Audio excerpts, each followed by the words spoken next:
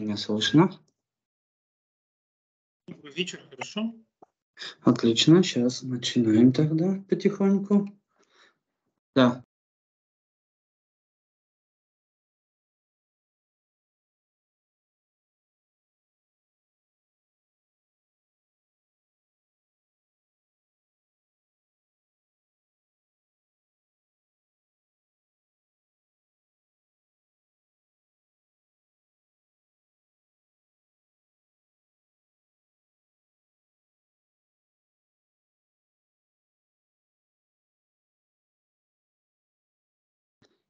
Ну, давайте сейчас еще несколько минут подождем и начнем. Может, кто еще подойдет. Что-то никто не написал, что не будет. Нет, один человек написал, что не будет, а остальные даже ничего не написали.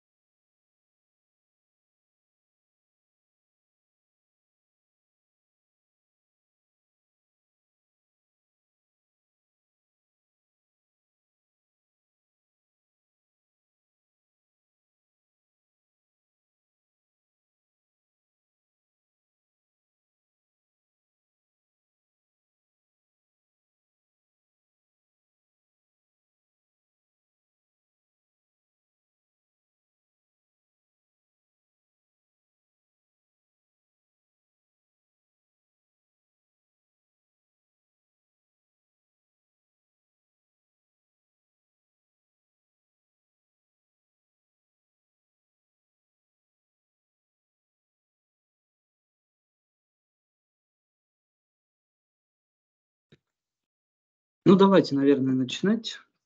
Я так чувствую, ждать уже особо нету смысла. Так, что-то нет ни Алаза, странно. Ну, значит, что-то случилось. Сейчас я войду в систему.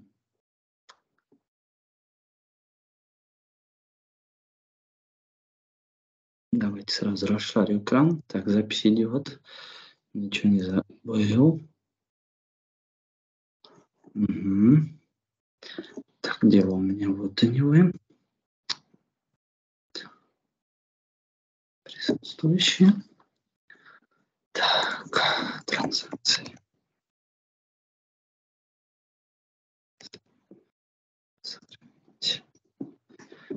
Так, Аваза нету, Дмитрий здесь, э, Нурии нету, если не ошибаюсь. А, не, во. Только вспомнил о вас. Здравствуйте, я только что подсоединилась. Я и говорю, Андрей, только вспомнил, да. Ага, если сегодня, ну, я немножко себя плохо чувствую, конечно. Может, я не до конца буду, я вас предупрежу. Нет, Хорошо. нет, я сейчас буду с вами. Я посмотрю. Ну, смотрите. Выдержите хорошо, нет, ну тогда отключайтесь. Тут лучше себя не насиловать, как говорится. Я вас предупрежу. Хорошо. Так, Анатолий здесь, Николай здесь, Олег здесь. Все. У нас нету только Елизаветы, но она предупредила, тоже болеет.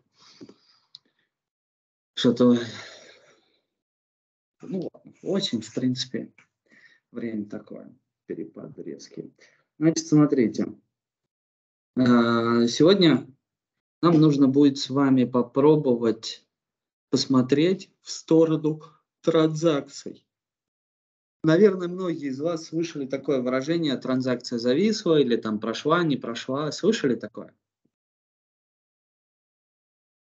Да. Вот сегодня мы с вами поговорим о том, что такое транзакции в базах данных. А, значит, смотрите, в БДшках транзакция – это действие, которое состо... составное действие, и если какая-то часть из этого составного действия не выполнилась, то все откатывается назад. Ну, грубо говоря, ну вот, вот грубо говоря, вот так. То есть, что мы с вами получаем? У нас, например, есть реляционные таблицы, да, реляционная база данных, где куча разных таблиц. Ну, давайте возьмем э, нашу с вами табличку с прошлого занятия, где у меня фамилия, имя, отчество в отдельных таблицах хранятся. Помните? И вот если не будет происходить запись хотя бы в одну таблицу, мы должны будем откатить все назад и не выполнять никакие записи вообще. То есть у нас единой операцией э, записи фамилия, имя, отчество – это запись в три таблицы разом. Если хотя бы в одну таблицу что-то не записалось по какой-то причине, то нужно делать откат, откат назад, да? то есть так называемый rollback. Мы будем с вами, от, что значит откатиться назад? Даже э, если это была, ну, давайте вот на примере попробую показать, значит. Если смогли записать в таблицу фамилий, окей, хорошо. Смогли записать в таблицу имен, отлично но не смогли записать в таблицу отчеств. Все внесенные действия откатываются. Но если смогли записать и в последнюю таблицу, то значит все действия фиксируются. Понимаете о чем или не очень? Непонятно. Отлично. Я не знаю, как а... другим. Другие молчат, Олег. Уже пора привыкнуть, что очень мало кто что-то говорит. И это печально на самом деле. Вот. А, значит, что нам это дает? Дает возможность создания каких-то условий, каких-то функций, процедур, неважно чего, а, чтобы мы могли в случае ошибки записи не плодить какие-то сущности, да, то есть не плодить лишние записи, а делать откат назад, то есть э, возвращаться к состоянию, как будто мы ничего не записали. Или там ничего еще не сделали. То есть транзакция, ну, как правило, она э, чаще всего ее применяет именно на фиксирование данных в таблицах, то есть на записи, на инсертах. Она там очень хорошо в этом плане работает. Ну, как-то так. Значит, давайте посмотрим вообще, что такое эти самые транзакции, как они выглядят. Если, простите, если посмотреть, то создается вот такой вот моментик start transaction, и никакого имени нет. То есть транзакция это не что-то именованное, это просто определенный, скажем так, определенная последовательность действий. Ну, вот первый момент, да, start transaction. Эта штука позволяет нам стартануть транзакцию, и которая будет выполняться, ну, грубо говоря, в какой-то песочнице, в каком-то изолированном месте. И если она все хорошо выполнится, то эти данные передадутся в, что называется, в прод, да, то есть в, в реальную базу данных. Если что-то произойдет и данные не смогут отработаться, да, не, не сможет что-то заапдейтиться или что-то заинсертиться, то все, никаких изменений в активную, в активную фазу, в активную ветку базы данных не будет вноситься, скажем так. Ну и вот, чтобы это все сработало, здесь существует, вот, видите, комит. Да? То есть мы должны на самом деле проверять с вами, что будет происходить. Будет ли у нас там коммититься что-то или будет происходить rollback, откат назад. И нам необходимо делать эти проверки, ну, то есть как-то делать эти проверки, скажем так. Сейчас, тут есть пример еще. Да что ж такое-то? Кто же меня так зевать-то тянет? Не. Be rollback. Давайте посмотрим. Не, с rollback тут что-то ничего нету. Uh, comment. Нет, тоже нету. И to save point, release save point, transaction set. Нет, нет ничего такого. Ну ладно. Значит, не буду на это обращать внимание. И есть, э, ну, грубо говоря, пример. Опять же, пример транзакций э, позволяет... Да, кстати, есть команда перед транзакциями set автокомит 0. Что она позволяет сделать? Она позволяет отключить автокомит. То есть э, установить, что автофиксация действий нам не нужна. Мы сами будем определять, когда она будет происходить. И таким образом мы можем с вами, ну, скажем так, определить, да, произошла запись или не произошла запись. Что-то такое. Вложенные транзакции не поддерживаются это раз. Далее. Есть э, действия, для которых нельзя выполнять откат. Это для create, alter, то есть изменения, для дропа, truncate, коммента и rename. То есть вот для всех вот этих нескольких операторов из SQL нельзя сделать откат назад. Все, что относится к, к созданию что ж такое-то, простите, что зеваю. Все, что относится к созданию каких-то там данных, а, не подвержено откатам назад. Но есть еще один момент, что автоматический комит, то есть автоматическое завершение транзакции, то есть ее фиксация, будет работать при вызове следующих операторов. Alter Table, Drop Database, Load Master Data, Set Автокомит 1, Uh, begin, drop index, log tables, ну, куча, следующая транзакция, да? create index, drop table, да, rename, truncate. То есть вот, пожалуйста, эти действия автоматически фиксируют внесенные изменения, которые были. Uh, причем очень важный момент. SQL ошибки, если происходят какие-то, сами по себе транзакция при этом не откатывается нам нужно указывать, да, в каком случае это будет происходить. Ну, иногда можно применять очень странный подход, хотя ладно, не буду его сейчас объяснять. Скажем так, э, чаще всего вам придется, вы, когда будете выполнять какие-то запросы, вы проверяете, что у вас там все произошло. Если вам приходит ошибка, вы возвращаете, вы передаете, точнее, в базу данных команду rollback. А если все хорошо прошло, то вы передаете команду commit. То есть вот транзакция – это штука, которой вы управляете, как правило, вы управляете откуда-то извне. Грубо говоря. Можно, конечно, сделать выполнение внутри, в зависимости от их у вас будет работать либо commit, либо rollback.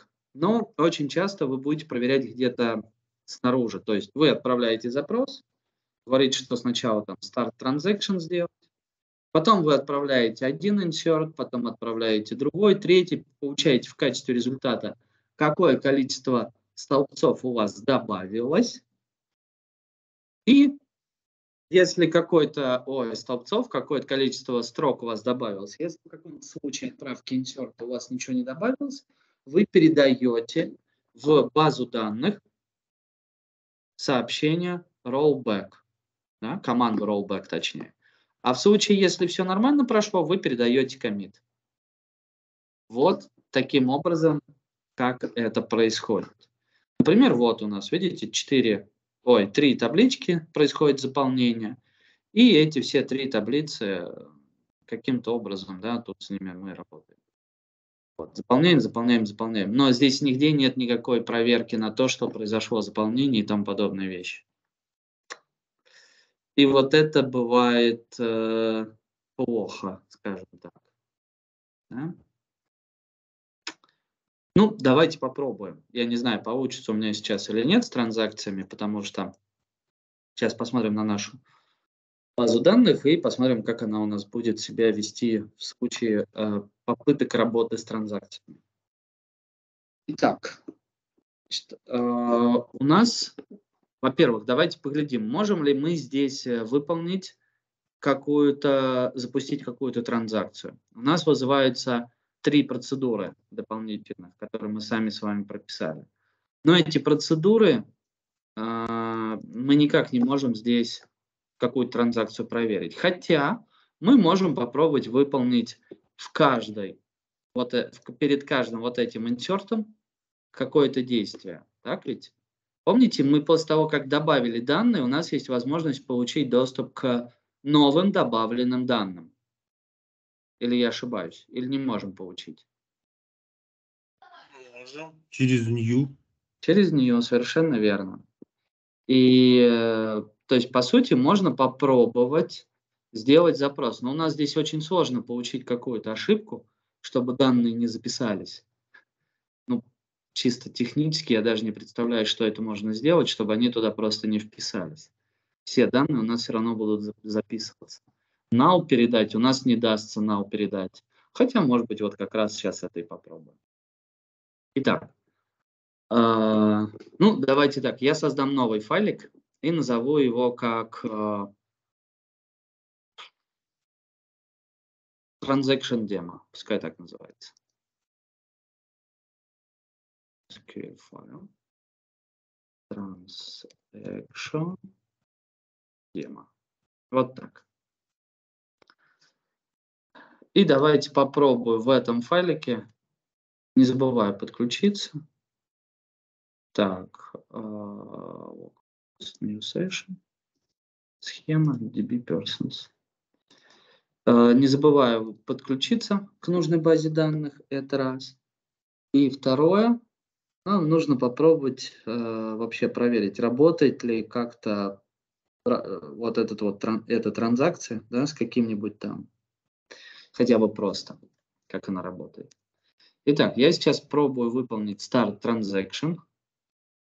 И попробую сейчас сделать три записи в нашу табличку. Точнее, в наши три таблицы, да, то есть добавлю туда сейчас три фамилии, ой, добавлю три свойства, фамилия, имя и отчество. Причем я буду вызывать не функции, не, точнее не процедуры, которые мы написали, а вручную писать. Ну, чтобы было проще, я из add data процедур сейчас копирую вот эти вот insert into. И сюда вот так вот их запишу. А вот сюда, ну давайте какие-нибудь данные добавлю, вообще неважно какие. Я знаю, что я сюда добавлю. Вот этот first name возьму в апострофы. Так, а я забыл. А, да, точку запятой здесь забыл указать. Вот так. Потом следующее, это будет table families.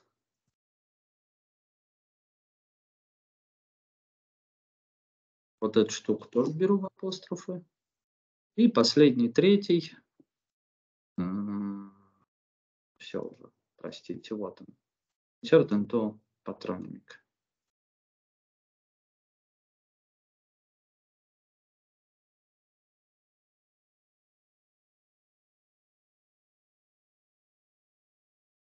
И после этого я напишу rollback. Вот так. Я жду. Как будете готовы, скажите, я продолжу тогда.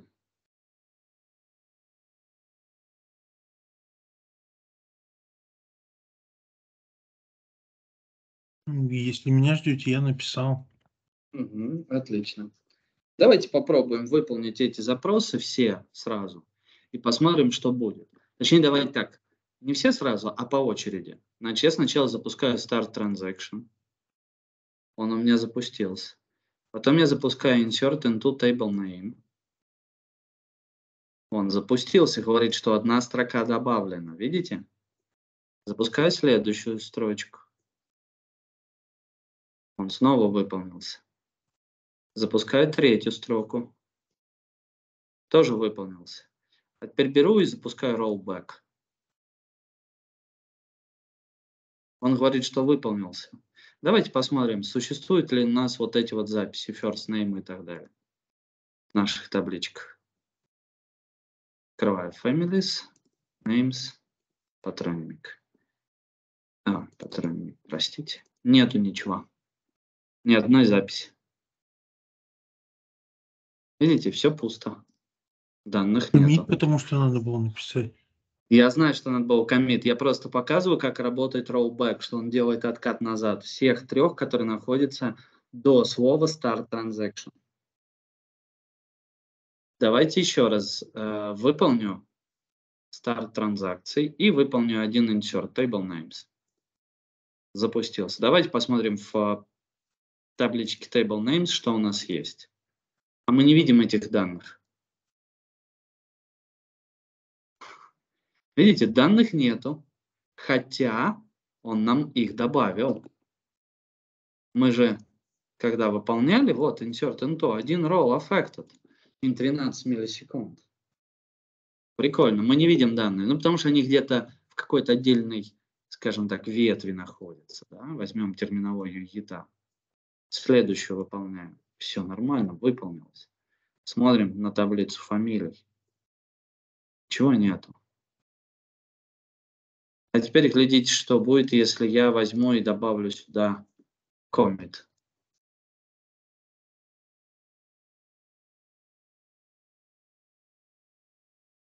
Вроде все нормально. Но стоит обновить, появляются данные. И видите, под каким номером они появились? Под номером 3 уже.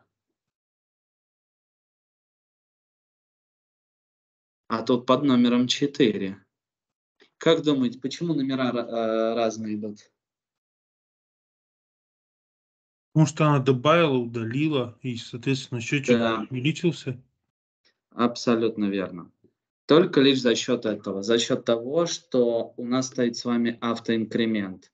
И этот автоинкремент, э, ему не важно, что было, счетчик э, как идет, так и идет. Он вот как есть, так и пошел. Поэтому использование в наших там запросах в add data процедур э, селекта и проверки по last name дает нам гораздо лучшее преимущество в этом плане, чем использование явно ну, по айдишнику как-то там сравнить. То есть тут мы не привязываемся как таковой к айдишнику, мы проверяем только лишь last name, чтобы они у нас не повторялись. Ну или другие там поля, неважно какие. Вот как это работает. Далее. Теперь давайте попробуем сделать, ну давайте я и вот эту тоже добавлю, хотя не буду ничего добавлять сейчас. Я сделаю здесь какие-то ифы и посмотрим, как э, это должно у нас будет сработать с вами. И давайте специально на последнем, третьем запросе я здесь сюда передам null, чтобы мне выскочила какая-то ошибка чтобы она у меня появилась. Да? И единственный момент, как проверить эту ошибку.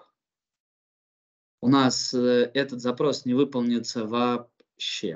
То есть при попытке его выполнить сейчас будет ошибка. Cannot, uh, cannot be null, да? То есть cannot uh, be null. И мы не можем ее никак перехватить.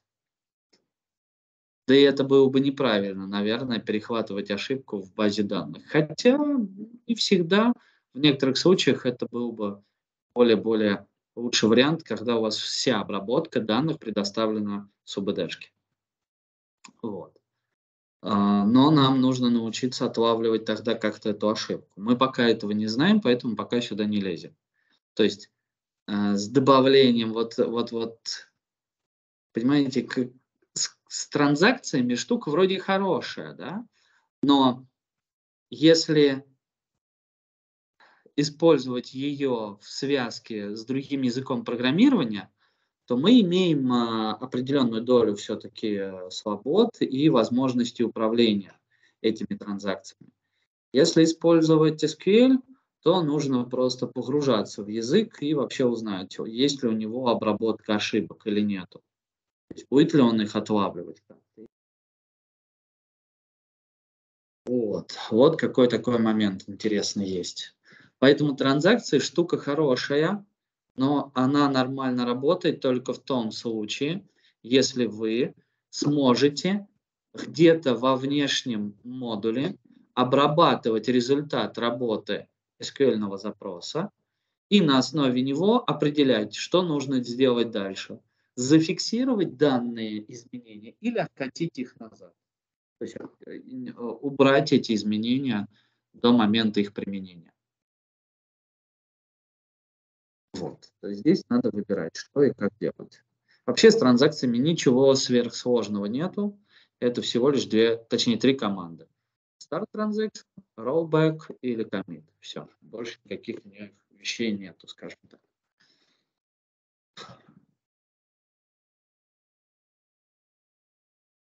Вопросы есть какие-нибудь?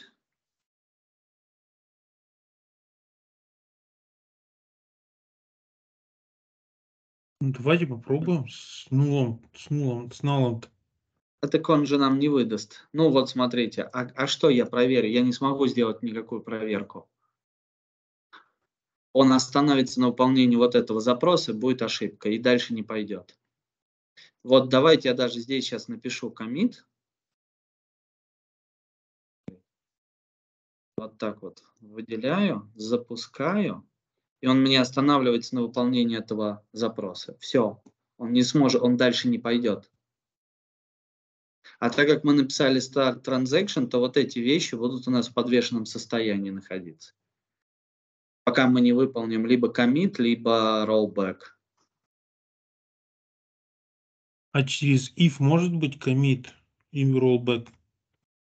Да, но что мы будем проверять? Есть Смотрите. такое имя или нет? А если есть такое имя, у нас же мы, ну, хотя можно это сделать через э, if, конечно, да. Давайте, ладно, сейчас застопаюсь, э, запущу rollback. Сейчас. Так. Наверное, я понял, что вы хотите сделать. Все, rollback запустился. Ну, давайте сделаем вот start transaction, да. Дальше мы делаем insert. А теперь мы, я хочу проверить, если, как у нас там писалось в если, да, uh, new, точка, Упс. а тут new не работает.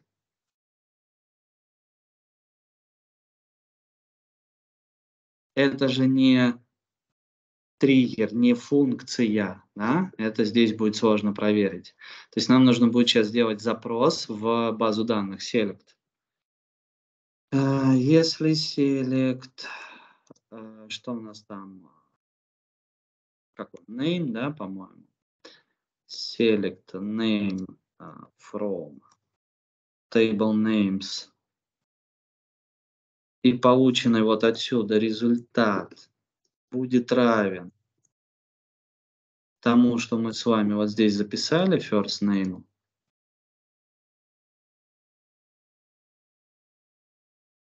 Упс. Он мне на if начинает ругаться. Давайте вспомним, как работает if, да? If. Да нет, значит, ага, значит, надо вначале сделать какой-то переменной, что-то установить после вот этого insert. Хорошо, поставим set. Собачек.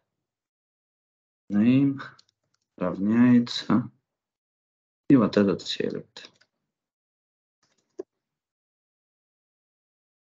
Ага, не может найти этот name и распознать его. Не понимает, что это за name, понимаете? А мы там как в табличке писались в table names? Я уже не помню просто. В table names, name. Он его не видит. Ну ладно, давайте сделаем как под запрос. Может так увидит. Сейчас. Ну, кстати, вот table uh, name. Ага. Ага, ну давайте вот так. Tables name, name. Вот так возьмем. Хорошо, указали.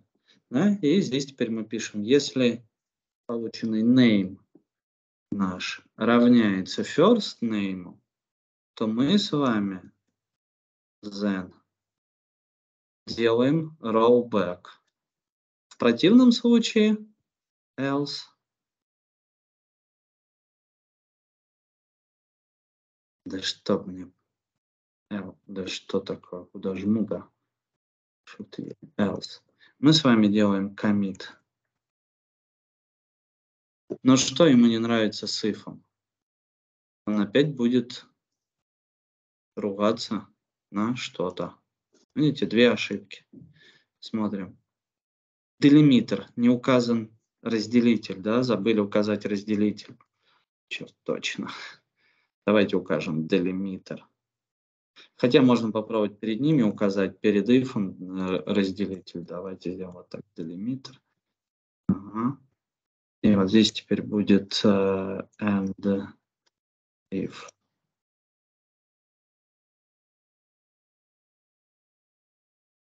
Но все равно не хочет работать.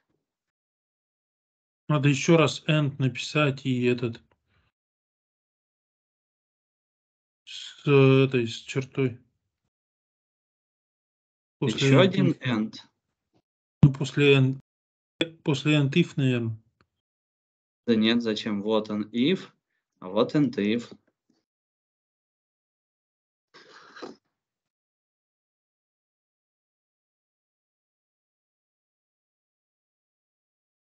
Давайте сделаем это как э, некую функцию, точнее, как некую процедуру, чтобы мы не, ну, короче, более-менее нормально разобрались, как это работает. Итак, я убираю, значит, прописываем разделитель делимитер. Ставим вот так.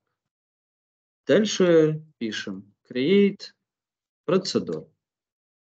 Назову ее просто как принимать будет три аргумента. То есть я, по сути, копирую вот эту процедуру, нашу с вами последнюю, да, которая добавляет данные, вот она. Все, в принципе, пока похоже, кроме одного, что, ой, извините, не туда полез, Ага, да, тут без точки запятой, да?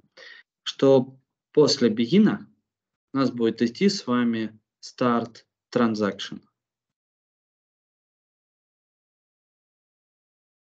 Start transaction. Далее мы будем выполнять какие-то действия.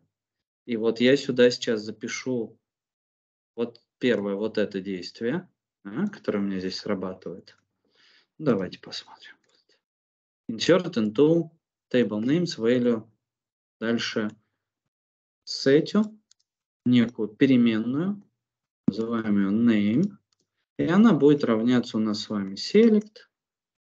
Из, сейчас вот так сделаем, звездочка from table names, где value, о, где, простите, name, точнее вот так, table names, name. Будет равен тому, что мы вот сюда с вами записали. Вот этот вот first name. Я его беру и копирую. Вот так. Скажем. То есть сюда должно будет записаться имя, да? Или что мы здесь можем проверить?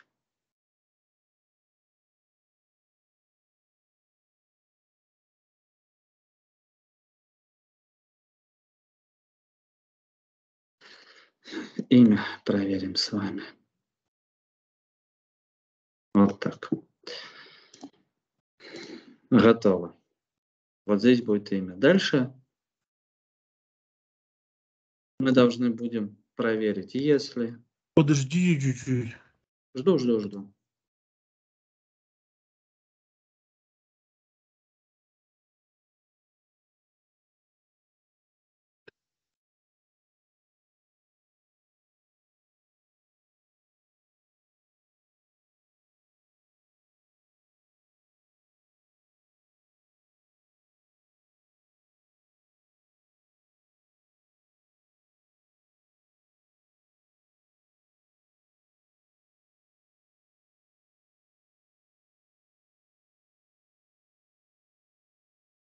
Ага, все, спасибо. Угу. Вот, а дальше мы делаем какую-то проверку, да, ну, понятное дело, что она у нас а, левая проверка идет. Вот, и... Окей. Ну ладно, сейчас не суть важно. Так, а, если этот name... Было бы странно, если бы этот name был бы не равен вот этому свойству first name. Ну ладно, это уже другой вопрос, да? То есть, буквально. Здесь пишем then. Что тогда нужно делать? Тогда мы делаем rollback. В противном случае else делается commit. Ну, например, да? Вот так. И end if.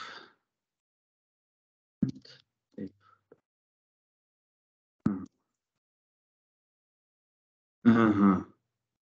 Видите, не воспринимает, да?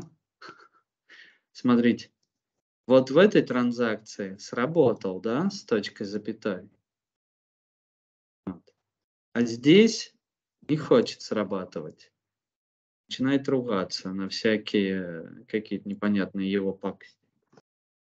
Ему здесь не понравилось. А, я EDN написал. Простите, все, сработал. Ну и после опять же, видите, комит, да, то есть мне нужно следующую фиксировать, э, следующее действие фиксировать. То есть я не могу просто так вот э, это обработать. Ну, ладно, давайте оставим как есть и посмотрим, сработает э, вот этот вот, то, что я хочу проверить или нет.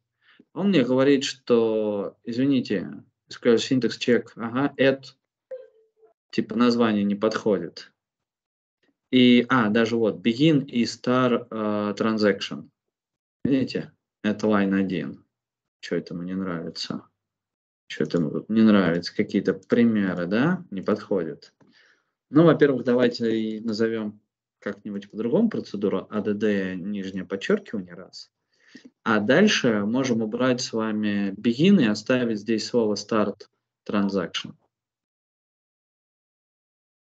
Но тогда он у нас, видите, немножко... Не, значит, не можем так сделать. Оставляем begin.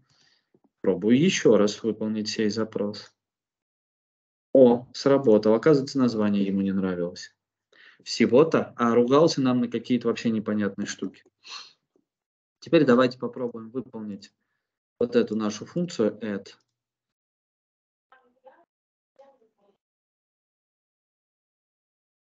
И передадим сюда какие-нибудь значения. Ну, я возьму все три first name, а просто сюда вот так вот размножу их, запишу, да и все. Вот так.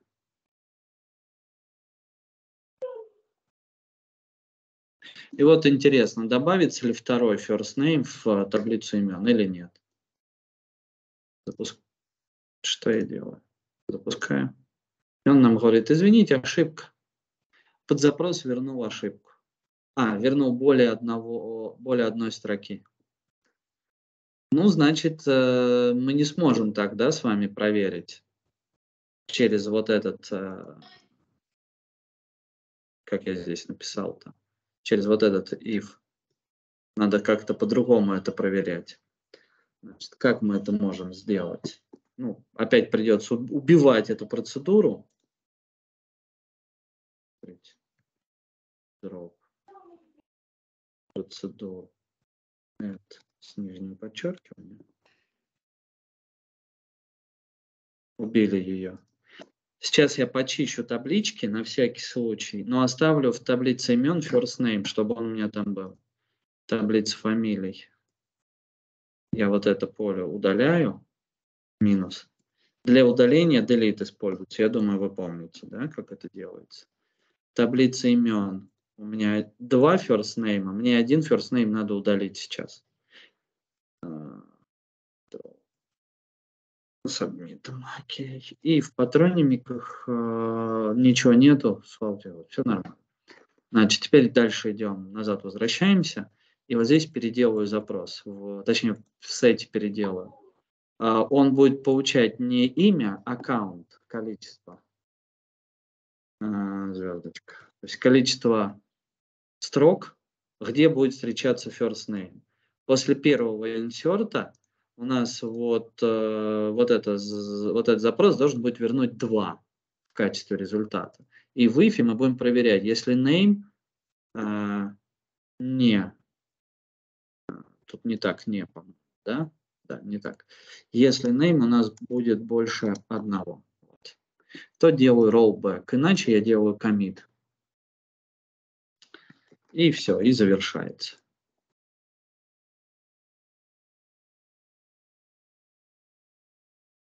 Хотя поменьше чуть сделаю, вот так. И он мне выполняет вот этот add. Подождите чуть-чуть. Жду, жду, жду. Покажи, а это count, это вы, сколько раз он встречается, да? Да, сколько раз встречается first name.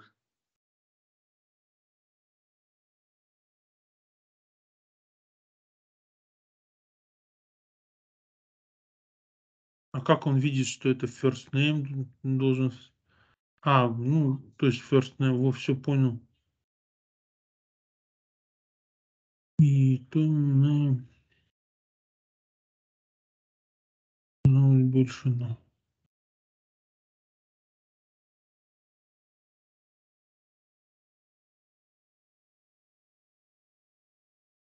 Угу. Все, спасибо. И смотрим, добавилось ли, добавилось ли у нас в таблицу имен еще один first name. Нет, он не добавился. Вот так можно использовать транзакции.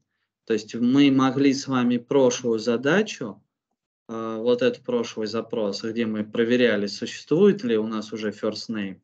Если first name равен нулю, то мы инсертим или пропускаем. А мы могли сначала добавить, а потом проверить сколько таких данных у нас там есть. И если их э, много, то делать rollback. Но вот этот вариант гораздо более правильный, чем через rollback делать или через commit. То есть вот этот вариант, он не настолько, он удобен, когда нужно э, в каком-то месте проверять, все ли нормально нам возвращается. То есть мы выполняем покомандно запросы. Мы не сразу их всех скопом запускаем, а именно покомандно выполняем запросы. То есть если мы сейчас второй, у меня вот добавился first name, если я сейчас второй раз выпущу... Еще раз запустите, да, и у вас не будет добавляться. А будет выходить ошибка, да, получается? Нет, никакой ошибки не будет выходить. Будет выходить, что вызов функции add прошел успешно, и все, и никаких ошибок не будет у вас.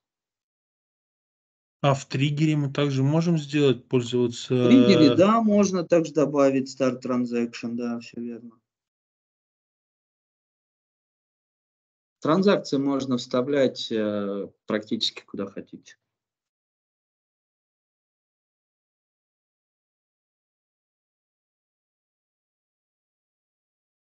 А в триггере, если там стоит ну, выполнение триггера после выполнения, ну, инсерта.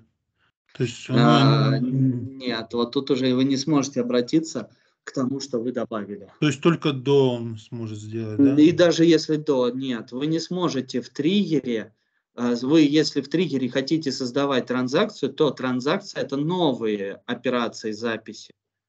во что-то. То есть вы можете отменять только то, что находится после слова start transaction. Как только вы, например, э, выносите за э, вот этот вот start transaction, rollback или commit, то есть вот за эти скобочки, да, за эти ограничители что-то, то оно выполняется у вас и сразу же фи- фиксируется. Никаких возможных вариантов отката там нету.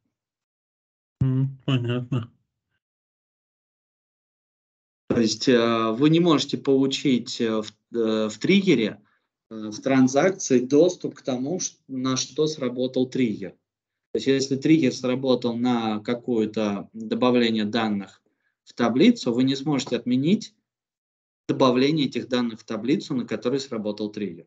Вы только внутри триггера сможете запустить какие-то новые э, запросы, и вот их в случае чего-то вы можете отменять.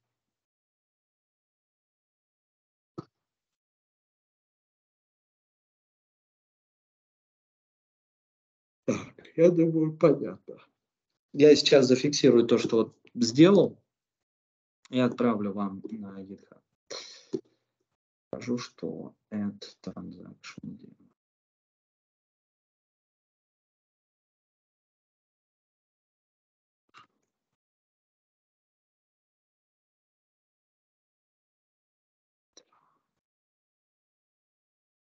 Transaction, transaction. Понаписал-то, ну ладно. А я смогу сейчас здесь переименовать файлик? Я не могу. Сейчас я вот тут, а, тут тоже вот здесь переименовывать его надо. Refactor, rename, transaction, refactor. Готово. Фиксирую. Transaction демо, да. And push. Commit land push.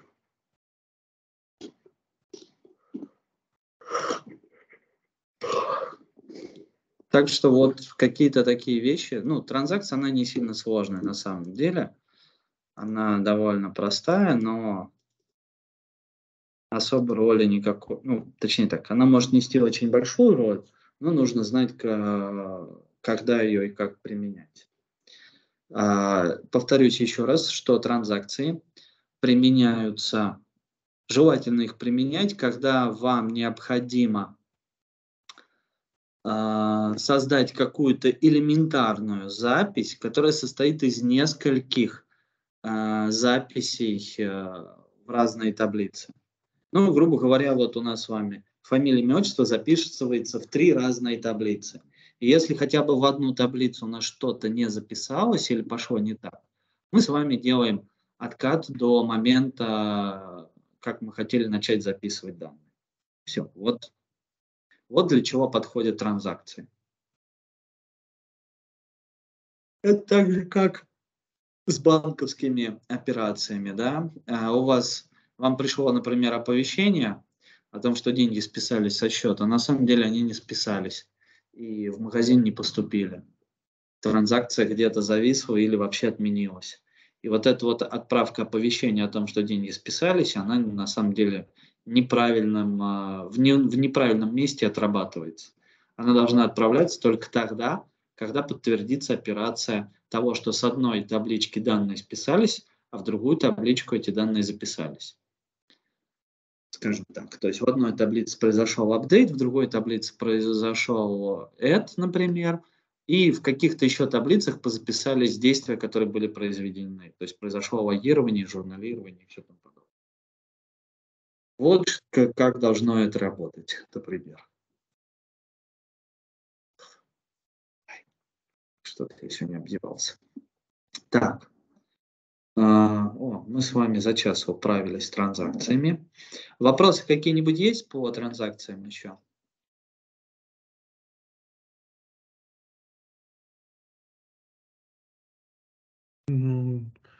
Только остается как э, обработка исключений, то есть когда вот этот Вот. выдаст э, как он там? Все верно. Значит, смотрите, э, последний как раз момент это действительно исключение. exception MySQL. То есть нам нужно как-то обработать ошибки да, в процедурах. И э, давайте посмотрим. Вот есть вопросик какой-то. Ну и вот у нас раз ответ, да. Класс MySQL exception. И вот еще три.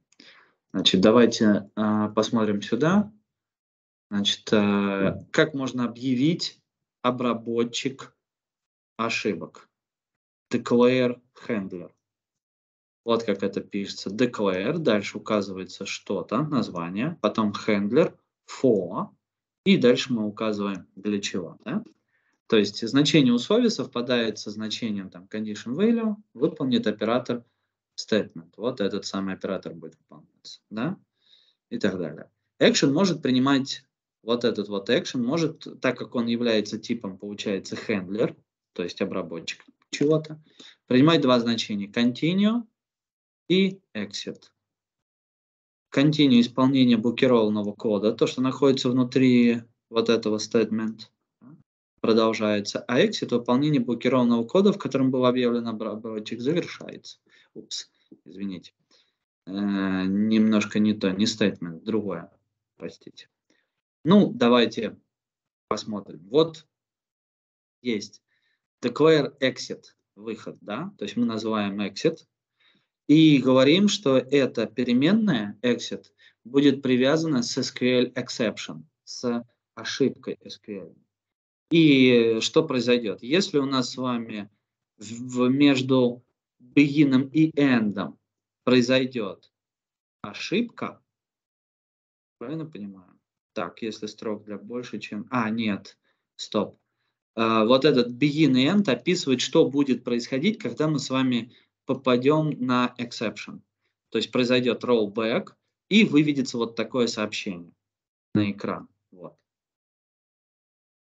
А далее, соответственно, нам необходимо как-то применить эту самую ошибку да, и проверить, что произошло. То есть сделать какое-то действие, и в случае чего у нас произойдет такие вещи. Мы можем привязываться строго к определенным, например, э, если я правильно понимаю, к определенным номерам ошибок каким-то. Э, и так далее. В-третьих, мы добавляем тег 1.2 с помощью вызова хранимой процедуры. А, ну вот так. Окей, okay, continue. Угу. Declare exit handler for SQL exception. Ошибочка выходит, да? для определенной ошибки будет выходить другое сообщение, для еще одной ошибки будет выходить еще одно сообщение, и вот идет insert что-то там туда. Значит, давайте попробую выполнить сейчас описание декларирования exception, перехвата его, да, и выполнение чего-то. Как мы это сделаем? Ну, давайте создам еще одну процедуру которая будет полностью скопирована с вот этого add data процедур SQL. Uh, даже, наверное, а, нет, тут три раза мы вызываем, да, и если хотя бы у нас тут где-то произойдет, не, сейчас вот uh, я копирую вот эту штуку и себе записываю вот сюда. Смотрите, единственный момент э, процедур add data, а, и тут укажу ex, exception. Вот так, exception. Значит, глядите, что у нас получается. Вот эти процедуры у нас с вами уже существуют, правильно? Три штуки, их они есть. Единственное, у нас с вами нету э, никаких обработок ошибок, если ну, один кол не выполнится, да, ничего не произойдет тогда. А, что мы делаем? В begin я беру и декларирую, declare, нашу переменную, называю ее как x, дальше указываю handler и э, указываю for и говорю, что SQL Exception. Вот так. Но видите, он на хендлер начинает ругаться. Да? Он говорит, измените, пожалуйста, диалект SQL. Хм, странно, да? Здесь вот пишется handler for. Да? А там, не, а там нам говорят, что какая-то у вас тут, извините, ошибка. Так, declare exit handler for SQL state. Хм, странно. Вроде ничего такого нету, да? Каких таких моментов особых. Все так же прописывается. Declare error integer. Return. Нет, тут ничего такого нет. Давайте посмотрим вот здесь. А тут оказывается, а, это вообще совсем другой класс MySQL exception. Не то. Не то, да. Давайте поищем вот, собственно говоря, вот эту вот declare exit, э, вот, вот эту вот запись. Найдет нам что-нибудь Яндекс по этому поводу или нет? И действительно есть такое. Смотрим. Вот он, declare handler statement. Вот, declare, да, handler for и что-то пишем. Может, я handler неправильно написал? Handler. Да, вроде правильно.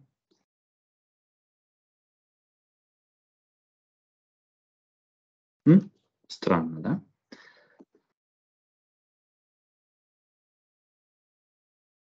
А потом, оказывается, я не понял, что там должно быть написано. Смотрите. Если верить то, что вот здесь нам показывалось в какой-то части, да, то здесь нам писалось, что вот тут мы должны писать.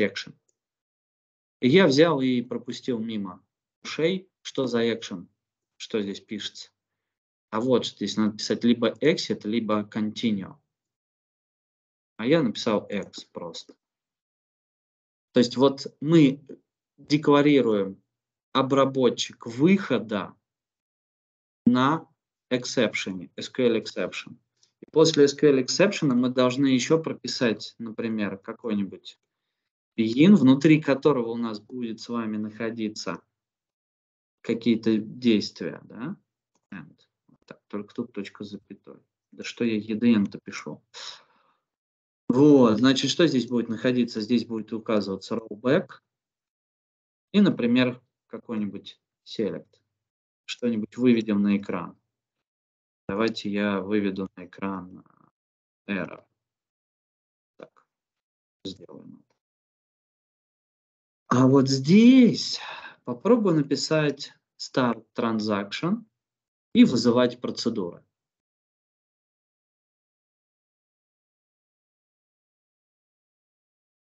Но как вы думаете, call не будет ли нам э, что-то делать с транзакциями? Не будет ли он случайно их завершать сразу с комитом? И в конечном счете, после вот этого start transaction, у нас должен стоять здесь еще commit, то есть мы должны все зафиксировать. Вот так.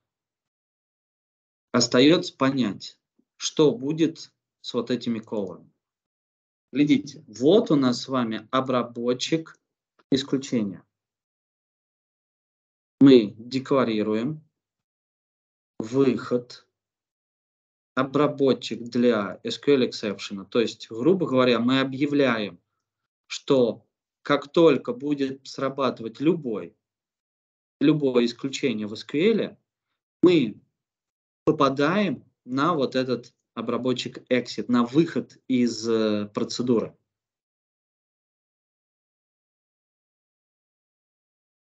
И что этот выход из процедуры делает? Он у нас делает rollback, откат назад всех действий, которые были, и выводит на экран сообщение error.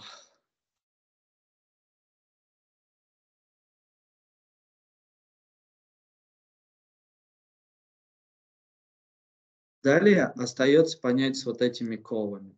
Сейчас пока не пишите. Давайте-ка я быстренько загляну в транзакциях, есть ли какое-то упоминание кола. Да? То есть может ли оно как-то себя скомпрометировать, скажем так.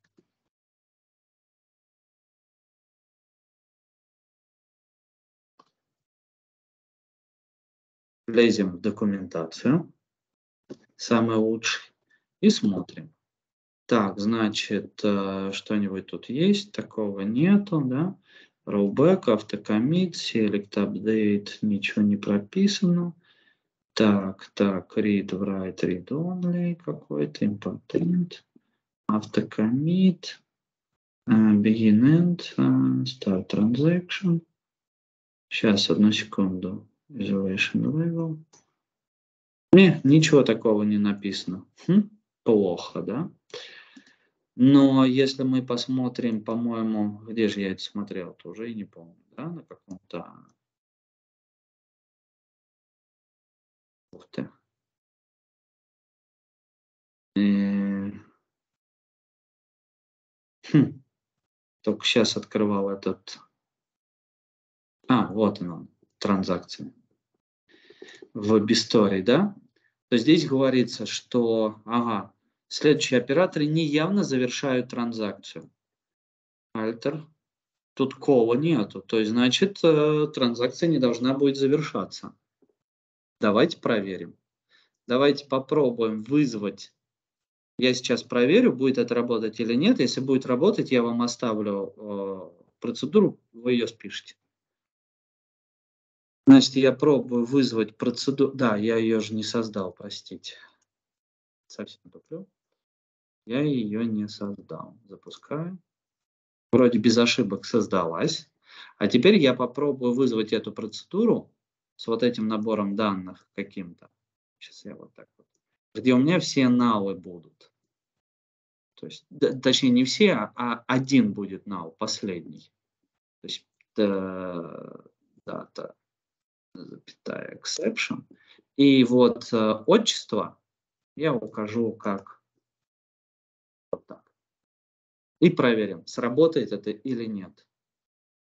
Запускаю последний э, вызов. Вышла ошибка. Видите? Давайте посмотрим, в базы данных добавилось что-то или нет.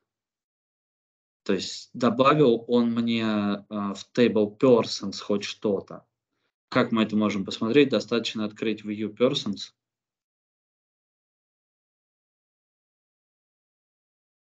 Нет, нету. А что я добавлял там? Ну-ка, где это? Я хотел добавить Старин Андрей с отчеством null. И у меня выскочил exception. Вот. И видите, один row retrieved. Starting from 1, да, и так далее. Значит, глядите, я уменьшаю показ экрана. Вот так будет выглядеть вся процедура целиком. Переписывайте. Как спишите, скажите, я объясню еще раз, что здесь мы с вами сделали.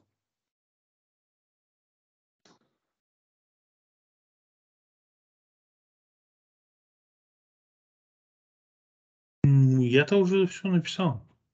Ага, отлично. Я тогда не знаю, все остальные. Э, значит, смотрите тогда еще раз. Вот таким образом мы с вами говорим, что в случае эксепшена мы будем производить с вами выход из процедуры. И будет происходить вот такие действия. А, откат назад и вывод сообщения об ошибке.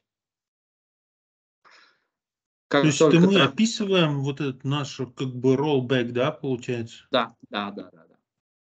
В каком случае? есть, но rollback он в транзакции сработает, я так понимаю. Да, он в транзакции сработает. То есть здесь, как видите, нету ифа, потому что здесь это описано, как ни странно, декларативно. То есть мы говорим, что если ты встречаешь exception, будь добр, откатись назад и выведи сообщение. Окей, все, это, это у нас где-то висит. А дальше мы запускаем с вами транзакцию, чтобы можно было применить rollback. А, вызываем одну процедуру, другую, третью, и потом делаем четвертый инсерт. И если хотя бы в одной из этих операций где-то, в одной из этих четырех операций где-то произойдет exception, мы с вами, его перехватывает вот эта штука, сразу же идет откат rollback, а он срабатывает по той причине, что вызывается он, по сути, это после старт транзакшена, после старта транзакции. И, соответственно, в том участке, где он вызвался, мы все назад тык-тык-тык-тык вернули, вывели сообщение и прекратили выполнять эту процедуру, мы из нее вышли.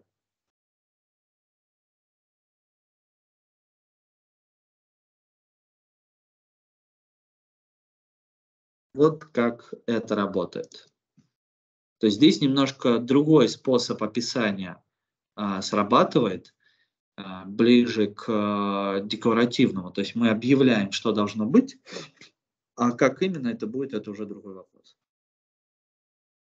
В какой именно момент времени мы не определяем. Мы говорим, что это вот произойдет, когда будет exception. Ну и все.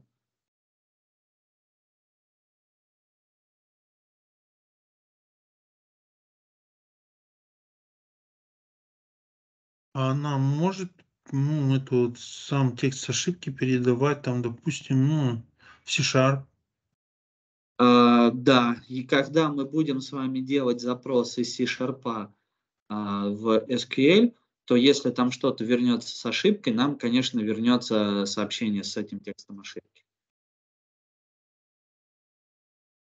Сейчас, одну секунду.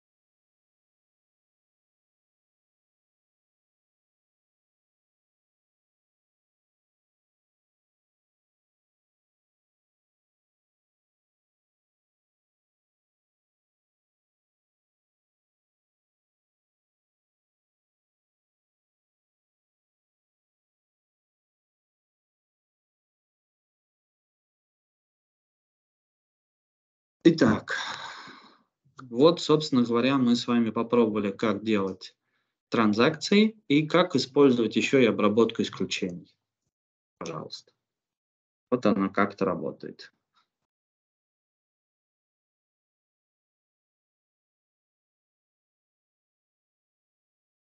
Вопросы еще есть какие-нибудь по вот этой части?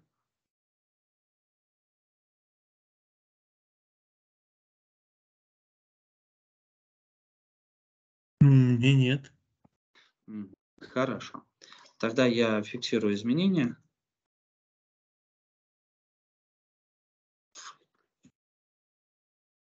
Вот. И отправляю их вам на сервер.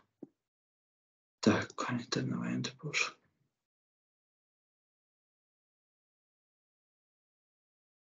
Все, готово. Так, давайте тогда сейчас сделаем перерыв в 10 минут. Вот. И после перерыва продолжим тогда уже с вами. Хорошо? У нас там будет как раз новая тема. Вот. Так, значит, э, без 10 я вас снова здесь жду.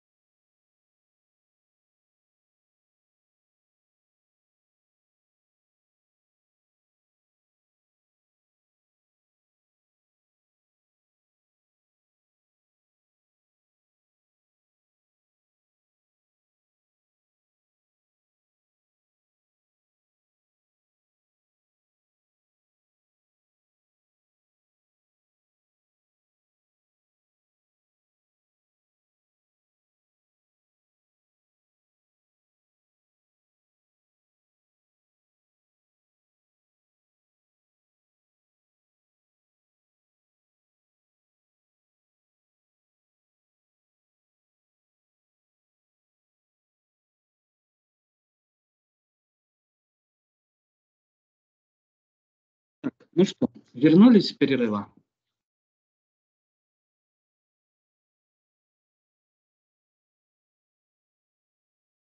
Да, вернулись. Окей, значит, смотрите. На всякий случай заранее вам скину некий материал, который вы сможете поизучать дома. И заодно поймете, какая у нас с вами дальше тема будет. Сейчас нам с вами будет тема группировки и выборки в группировках, или точнее фильтрации группировок. Вот такая вот будет тема на оставшуюся часть занятия. То есть мы с вами как бы посмотрели все, что только можно было посмотреть э, из э, таких моментов интересных, и возвращаемся снова к селекту, в котором теперь будем работать с группами и с э, фильтрацией групп. Ну, попробуем поработать с группами и с фильтрацией групп. Так, я расшариваю вам экран. И давайте, чтобы было проще и понятнее нам с этим работать, я сейчас создам, э, ну, это будет, к сожалению, новый проект, к сожалению, да, э, потому что мне нужно будет создать новую э, базу данных с новыми табличками, вот, и поработать с ней как раз э, с вот этими выборками. И вот это, наверное, время на создание табличек у нас может отнять какое-то, будет точнее более продолжительным, но от этого никуда не деться. Итак, берем и создаем новый проект. Выбираю, назову его shop, магазин. По сути, так это и будет. Потому что мы сейчас с вами что-то будем делать связано с магазином. Shop demo.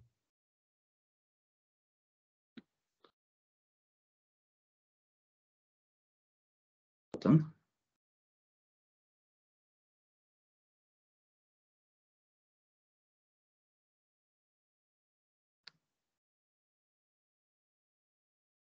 Выполняя подключение к моей локальной, к моему локальному серверу, MySQL.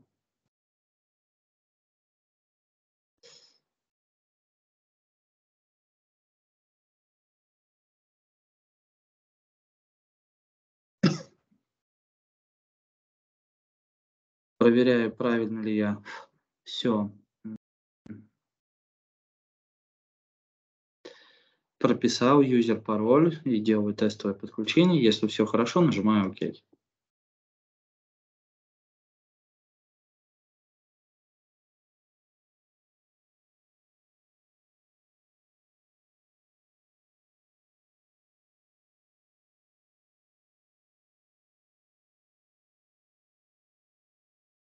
Так, теперь, что нам дальше нужно? Нужно создать здесь новую базу данных, никакой не DB Persons, а что-то другое. Поэтому я добавляю new схема и назову ее как shop demo. Давайте вот так назовем. Она у меня появилась, вот она shop demo. DB Persons мне не нужен, поэтому я убираю галочкой. Видите? Но видите, DB Persons не убирается галочкой. Снимаем галку Default схема и остается у нас только Shop Demo. Чтобы остальные базы данных нам ничем не досаждали. Да? То есть, по сути, мы как раз делаем сейчас с вами фильтрацию данных.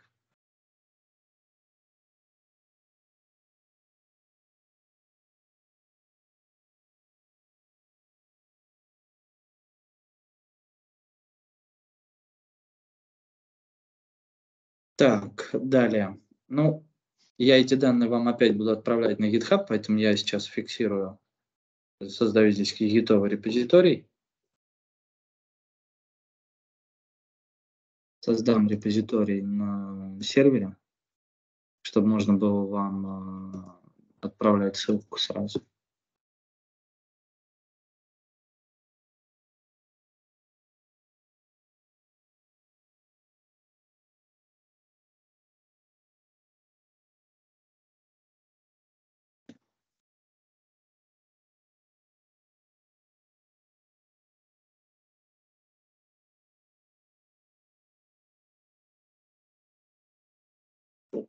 Создаю его. Копирую, да. И привязываю.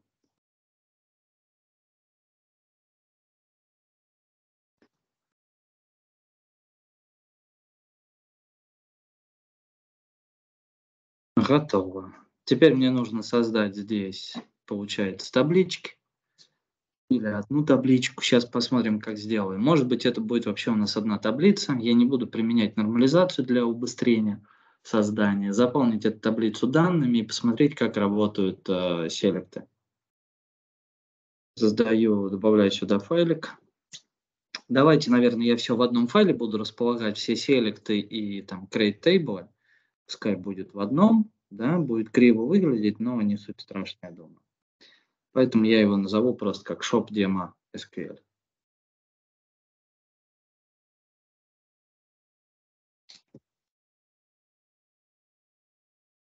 Не забываю привязать к текущей сессии, к текущей БДшке. Все готово.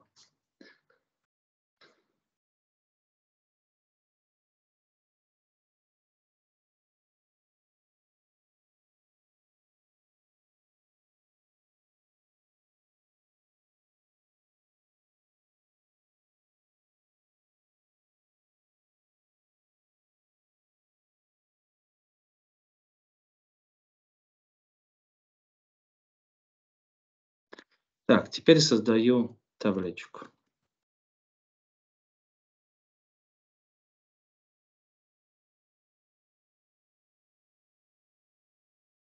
Ну, пускай здесь будет uh, Product ID.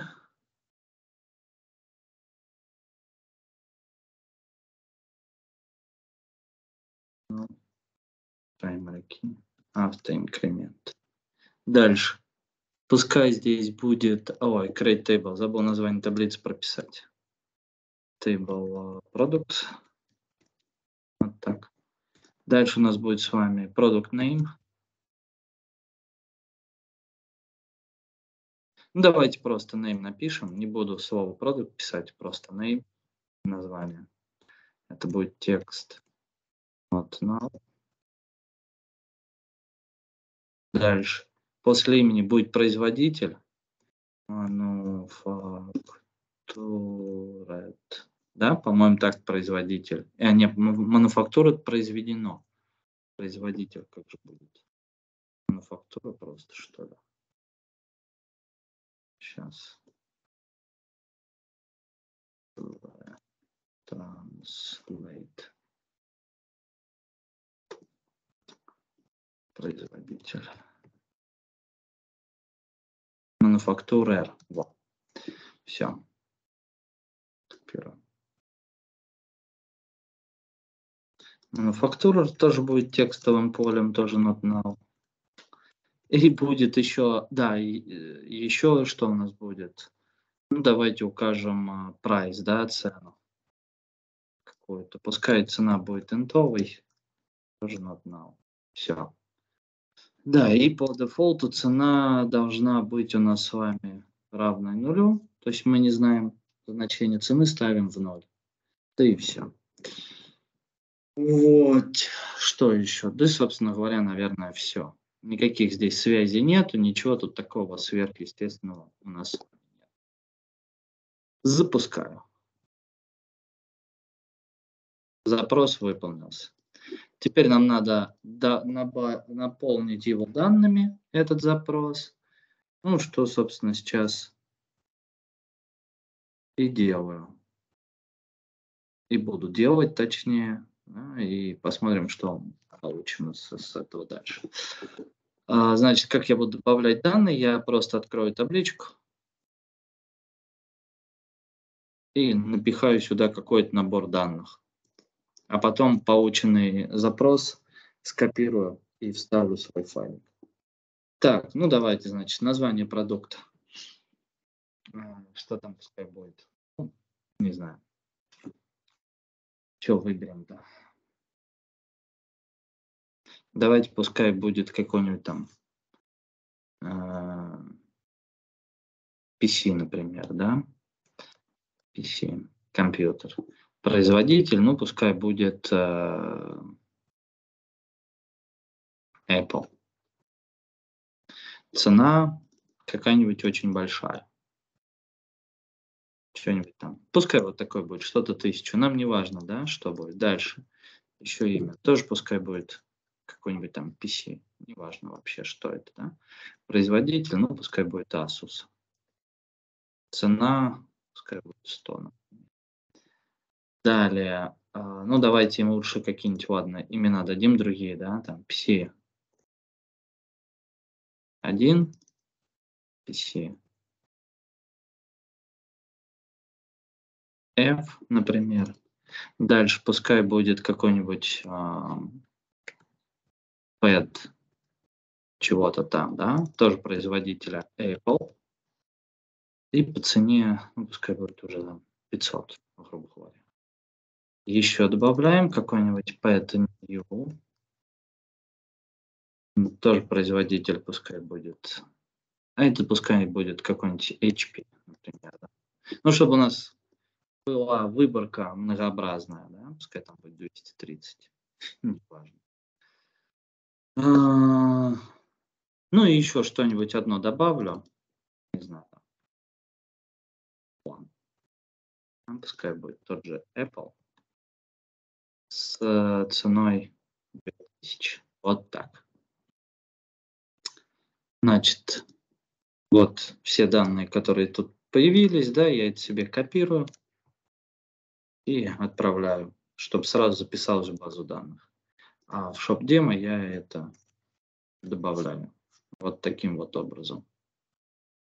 Если не хочется, чтобы постоянно писалось insert into, потому что данные одни и те же добавляются по одному и тому же принципу, мы можем пойти с вами следующим путем. Можно брать, ставить запятую и вот таким образом это отрабатывать. Или даже вообще на запятую менять и все будет хорошо. Видите? То есть таким образом это тоже будет работать, как ни странно. А, так как тут написано values, то вот эти данные будут добавлены в рамках одного insert. Я фиксирую сия изменения, да, все, что у меня здесь происходит. И говорю, что это комичу, отправляю. О, я вам ссылку-то на репозиторий не скинул, наверное, да? Конечно же, не скинул. Что-то еще чудо чудесный. Копирую и скидываю вам ссылку.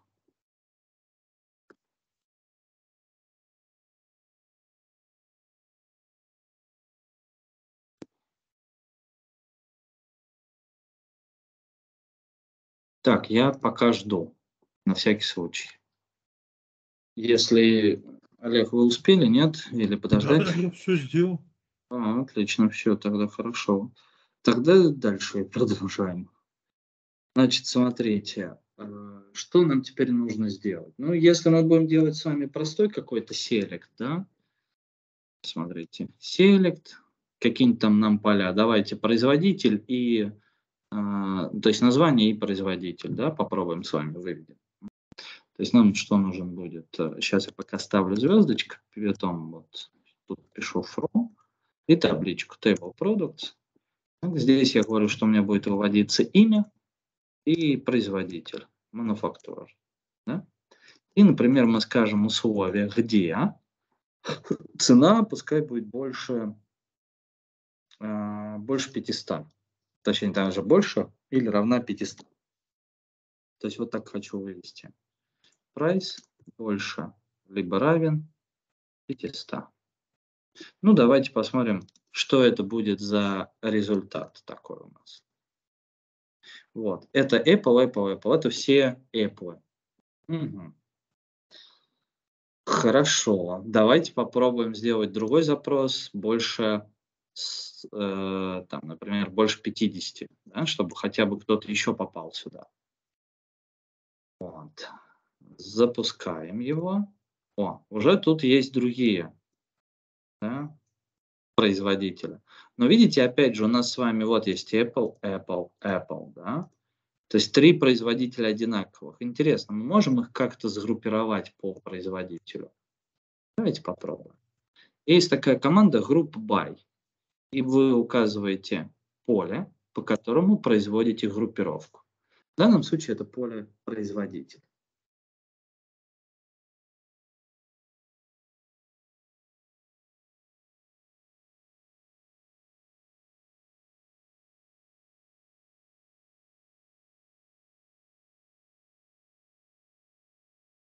Давайте посмотрим, что получится. Смотрите. Он нам вывел по одному.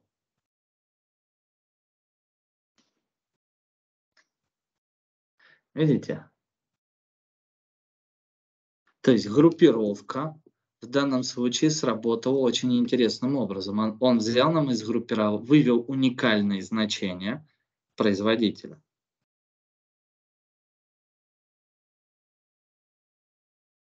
Казалось бы, а как, что нам это дает, да, зачем нам это нужно? Вроде ничего сверхъестественного, но получаем мы уникальных производителей.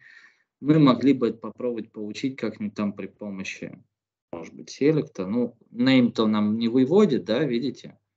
Он, то, он просто вот какое-то одно значение, хотя у нас Apple имеет там несколько разных составлений было несколько продуктов у Apple. Но если мы вместо name выведем с вами count звездочку. И давайте сделаем наоборот. Сначала будет выводиться производитель, а потом будет выводиться count звездочка, которую мы определим как да никак не будем определять, просто count, звездочка и все. И оставляем группировку. Теперь он нам выводит подсчет агрегатных функций под каждую группу.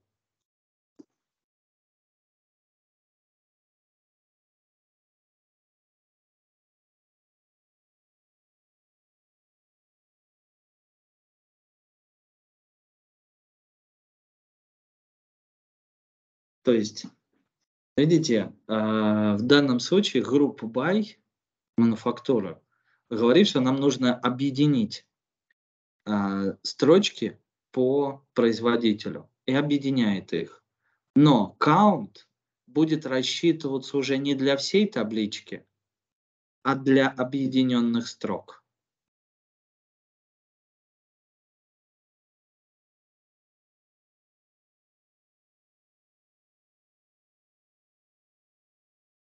Если уберем group by и оставим count, смотрите, что будет. Нам просто выведется один производитель и, цен, и количество 5. Все. То есть первый попавшийся производитель, а количество 5. А вот если мы с вами понятно, вернемся к группировке по производителю, то нам выведется совершенно другая информация. Более правильно.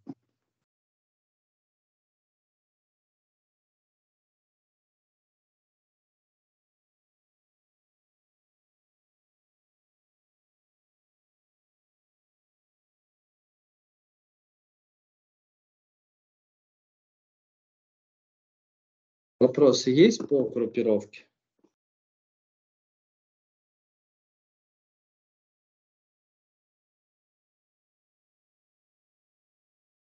Мы можем также значение присвоить, да, когда через целок, да? То есть, если хотим только посчитать, сколько у нас встречается, например, аплов. Ну, тогда это немножко по-другому делается. Если хотим посчитать, сколько у нас встречается Apple, это делается более просто. Смотрите. Select. Э, мы просто пишем с вами count звездочка from table products where manufacturer равняется Apple. Вот так. Тут уже не надо делать группировку. Нет, я имею в виду, к какому-то значению мы можем тоже это присвоить? Ну, То а есть что целых там... А? Хорошо, давайте присвоим. Я понял. Окей, давайте попробуем присвоить. Я копирую этот запрос. Так, и что, к чему, что будем присваивать? Давайте вот тут вот Ну, собачку. просто переменной какой-то атом, я не знаю, без разницы. Вот так, да, попробуем сделать. Я прав? Да. Ну, окей, давайте. Запускаем. Запрос выполнился. Но давайте посмотрим, что будет в переменной count лежать у нас с вами. Select, собачка. count. Там только один лежит. Последнее добавленное значение. То есть он не посчитал, сколько всего значений. Конечно, он записал последнее добавленное, потому что здесь применяется группировка.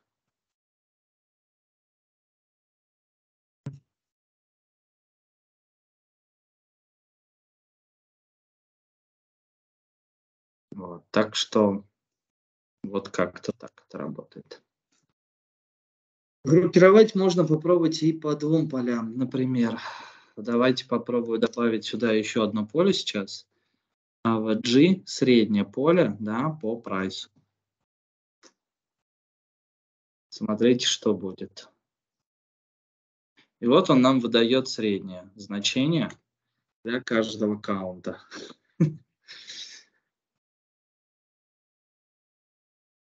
То есть мы можем посмотреть, что в среднем Apple стоит там 1166, да, Asus 100, HP 230.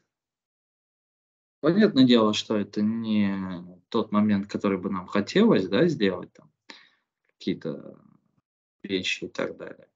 Давайте добавим, а, попробуем добавить что-то одинаковое в наши запросы. Ну, давайте, во-первых, посмотрим. Данных у нас здесь одинаковых нету, есть 100. Мгм. Давайте я сюда еще сейчас добавлю одну строчку с каким-то набором данных, который будет у нас там что-то уметь делать. Неважно что. Пускай это тоже будет фон. Я специально одинаковое название даю. Только пускай какой-нибудь HP, а значение у него пускай будет 100. Вот так. Но это я сюда прописал в файлик сейчас, а перед этим я в таблицу продуктов эту штуку добавлю напрямую.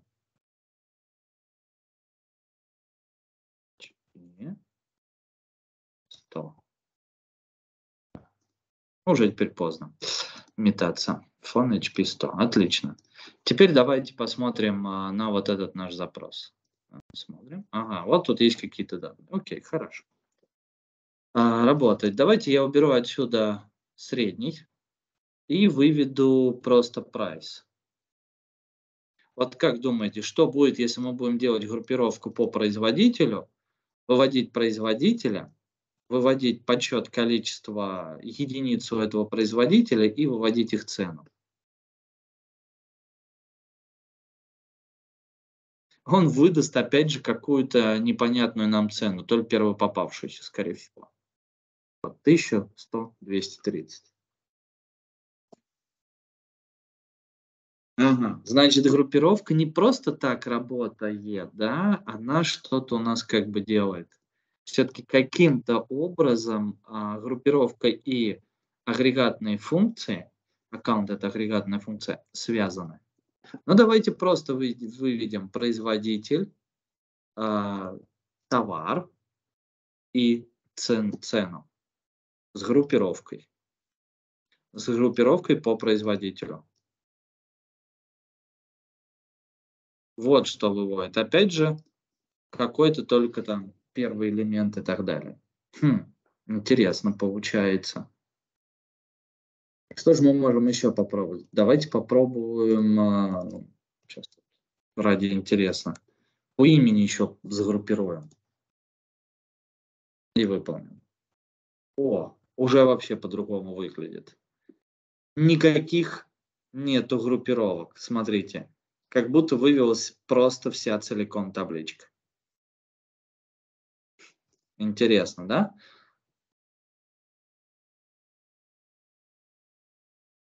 Хорошо. Но что это нам дает? Да дает это нам ровным счетом особо-то ничего. То, что мы должны с вами понимать, как мы группируем данные. Обычно они группируются все-таки по какому-то одному критерию. Например, по имени можем их сгруппировать да, и посмотреть, что будет. Сколько у нас вот смотрите, по имени, видите, телефон. Для него производитель Apple указан. Но это тоже неверно, да, потому что там два производителя. Значит, надо делать правильно запросы, правильные вейры указывать и тому подобные вещи. нужно еще понимать, что, как, зачем и почем мы с вами делаем. Хорошо. Так не работает. Но работает нормально хотя бы с какими-то там вещами, да. А, давайте сделаем вот так. Пускай выводится у нас с вами название продукта. Name. Будем мы с вами делать группировку по имени. И будем отбирать, э, и уберу отсюда, да, и отбирать не по прайсу, а по производителю. Ну, у нас э, одинаковых названий у одного производителя нет, поэтому у нас данные будут выводиться разные. Если добавить еще и одинаковое название одного производителя, вот там будет э, группировка, и мы что-то увидим. Можем, конечно, попробовать сделать по цене, но у нас, опять же, э, ну да, у нас этого тоже нет. Не то получится. Вот, ладненько. Давайте тогда вообще уберем where отсюда. Без всего. Просто вот выполним вывод имен, да, и сделаем группировку по именам. Вот, пожалуйста, 5. Хотя всего здесь записи 6. 1, 2, 3, 4, 5, 6 сгруппировал, потому что телефон два раза встречается. Можем теперь подсчитать что-то, да? Давайте почитаем среднюю цену сгруппированных товаров по названию. То есть я хочу посмотреть, сколько стоит в среднем PC1 товар, сколько стоит PCF, сколько стоит PET, PET Neo. А вот PET фон стоит 1050, самый большой, самый дорогой. Почему? А потому что у нас с вами телефон один стоит 100 рублей, другой стоит 1000. Ну, 100 единиц и 1000 единиц. Точнее, где он? Вот, а, 2000 единиц, простите. 100 и 2000 единиц, даже вообще не туда глянул. Вот группировка позволила нам определить среднюю стоимость каждого наименования товара, если товары есть с одним наименованием, но разными производителями. И всего-то надо было добавить одно слово group by.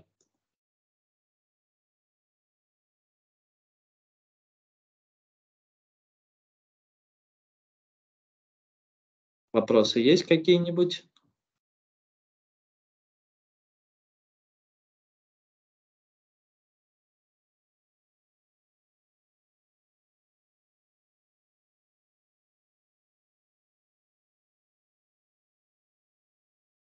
Ну, видимо, вопросов нету.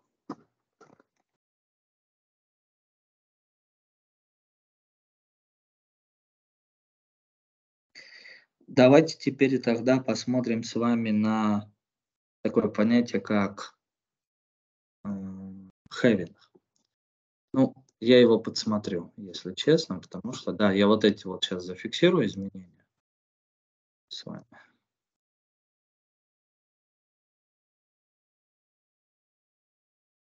Сейчас отправлю их.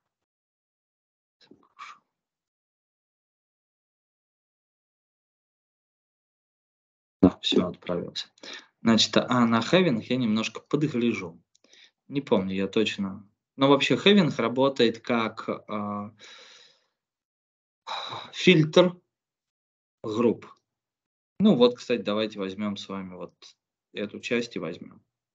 Итак, э, создам сейчас новый запросик. Select. Пока здесь будет звездочка. From. название таблиц. VR где? Смотрите, VR нужно использовать, э, получается, до того, как будет идти какая-то группировка. И давайте укажем э, все, у кого прайс, ну, пускай там будет больше 50, да, грубо говоря. Далее, далее, что нам нужно отсюда посмотреть? Да? Делаем после этого группировку по производителю. Ну и давайте глянем, что у нас будет. А, да. Убираем отсюда звездочку, пишем производителя и указываем а, количество единиц техники, которые у этого производителя встречаются в нашем магазине, которые от этого производителя встречаются в нашем магазине.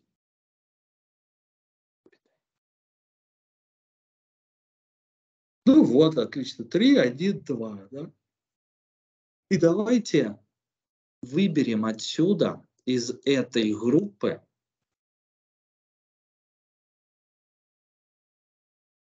тех, тех, тех производителей, у которых каунт будет больше, например, чему? Давайте больше одному. То есть я хочу посмотреть товаров, которые у нас э, от одного производителя, да, то есть хочу найти производителей, у которых цена продуктов больше 50 и количество продуктов у этого производителя больше одного.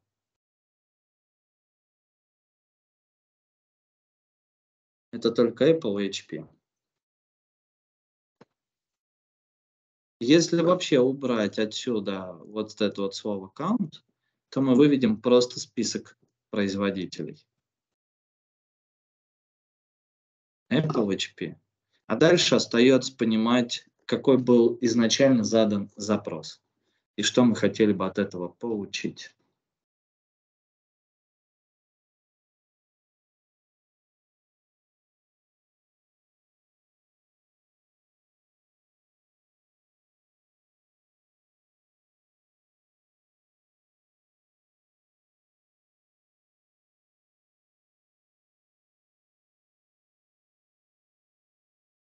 Вот. А еще раз, да. having это как получается? Having это получается фильтр, а, фильтр групп.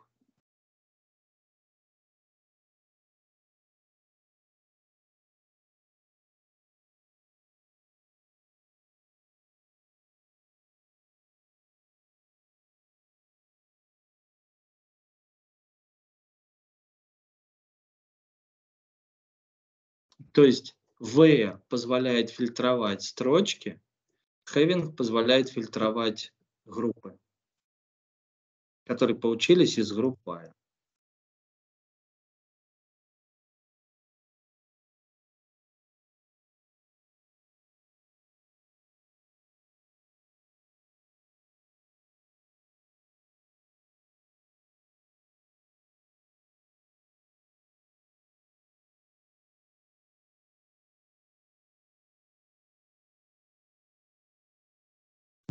Я все записал. Угу. Вопросы есть какие-нибудь по вот этой вот группировке и фильтрации групп?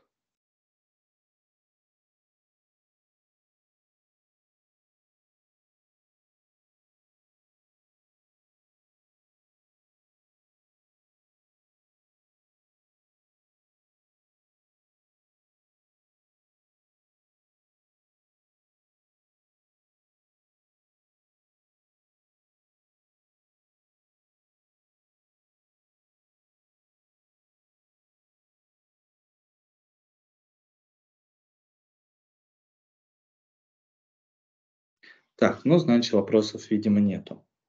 Хорошо. А, Что-то как-то мы очень быстро с вами разобрали эту тему. Думал, дольше с ней будем. Ну, ладно. Так, значит, так.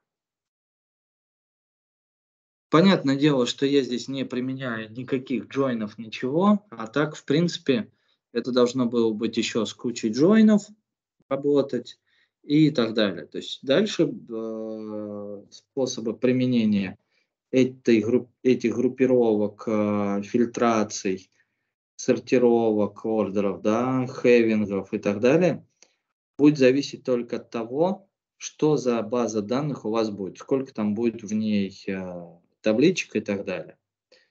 Когда таблиц будет много, то использование представлений, которые мы с вами делали, даже с использованием вот этих, получается, дальнейших э, этапов э, выборок данных, будет только способствовать пониманию того, что вы пишете в запросах. Так, далее. Далее, далее, далее. Что же далее? Ну, в принципе, основные вещи по SQL мы с вами пробежались. Дальше только практика. Это раз. И, и еще раз практика. Это два. Практика, практика, практика. Значит, сейчас э, я попробую найти а.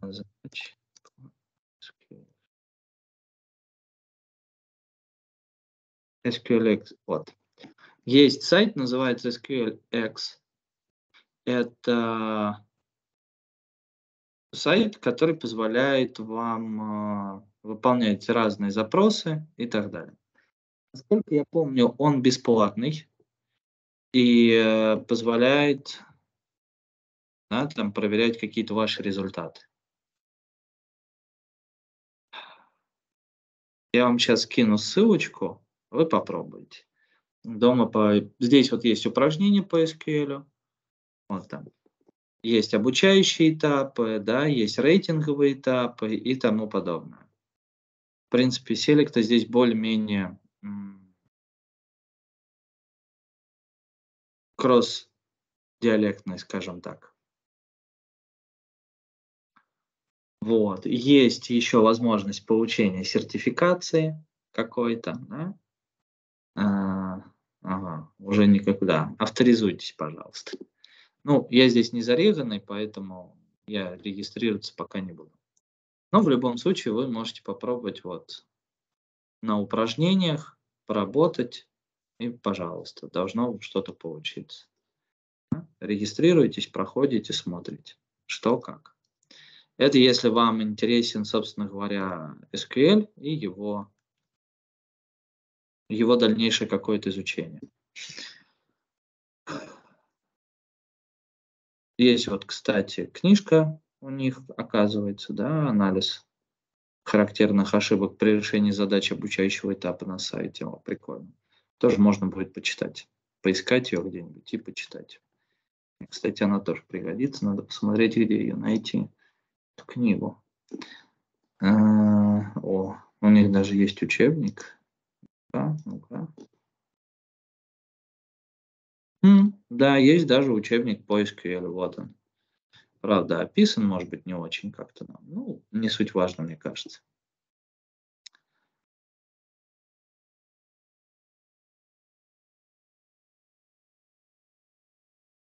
Угу. Итак, это на, на случай, ну, чтобы вы могли что-то там посмотреть, попробовать и так далее, да, потренироваться. Плюс у вас еще есть э, магазин, э, спортивный магазин, который э, его тоже можно смело делать, доделать, если все эти самые, все уже крыша едет. Все триггеры еще не успели сделать, да, и так далее. Плюс есть еще задания у нас в методичках, надо будет не забыть их вам тоже выложить, эти задания. Вот. Вообще, как ваше э, впечатление об э, SQL на данный момент?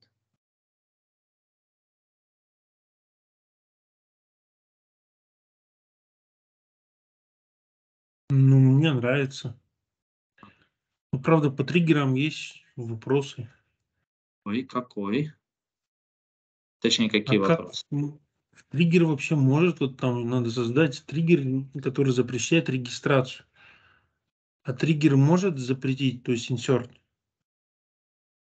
А подумайте, что он может сделать. А, все зависит от того, как, то есть, а что там, напомните, там, по-моему, запрещает регистрацию, если пользователь уже зарегистрирован. Да, да, да. да.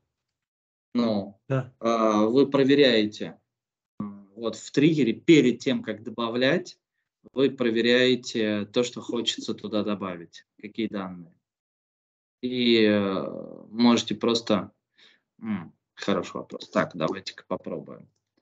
Так. Значит, а, нам нужен триггер на запрет добавления, да? Так, давайте вот так напишем. Создать триггер. Сейчас, сейчас, сейчас. Создать триггер Э, который запрещает добавлять, э, который запрещает добавлять дубли, дублирующие данные, да? Вот так. Угу. О, есть такой запрос на Q&A Hub. Добрый вечер. Необходимо сделать добавление уникальной строки по какому-либо полю. Ему ответ. Это делается не триггером, а ограничителем на уникальный индекс. Раз. А... Ага. Ну ок. Давайте посмотрим тогда все-таки на запрос, по которому возник, точнее на пункт в задаче, по которому возник вопрос. Может быть, я что-то неправильно понял или что-то не так э, объяснил. Сейчас посмотрим. Так, где наш э, спорт? Нету, да? Ну, сейчас так найдем. А, вот он, спортшоп. Так, триггер. Создайте триггеры, которые будут решать задачи. Продажа товара. Таблица истории используется для дубляжа. Так, понятно. А, архив. Не позволять регистрировать уже существующего клиента при вставке проверять наличие клиента по FIO и e-mail. Ну, это действительно будет лучше сделать не триггером. Вот этот ответ, я с ним полностью согласен, что нужно делать уникальность. То есть, чтобы у вас были уникальные поля, фамилия, имя, отчество и e-mail, например. А, либо это делается не триггером, а функцией. А, ну, точнее, процедурой, которая будет э, отрабатываться. Хотя здесь, судя по всему, имеется в виду, что если вы пытаетесь что-то добавить, то у вас это не должно будет срабатывать. Но вопрос, опять же, да, мы должны сделать проверку до того, как мы что-то добавляем. Но как мы сделаем это что-то, что дальше-то мы будем делать, он все равно потом выполнится. Мы не сможем там никаких э, запретов поставить. Ведь так, насколько я понимаю, в триггере. Там нет возможности запретить выполнение этой операции.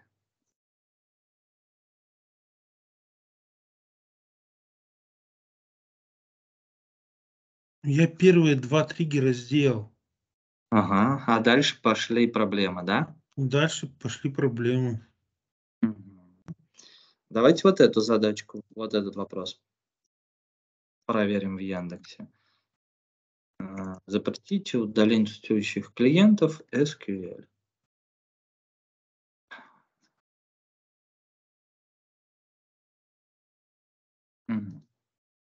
Так, смотрим. Что здесь? Hold удаление в таблице для всех пользователей. Нет, это не то. Запретить удаление. Нет, это немножечко не тот момент используется rollback.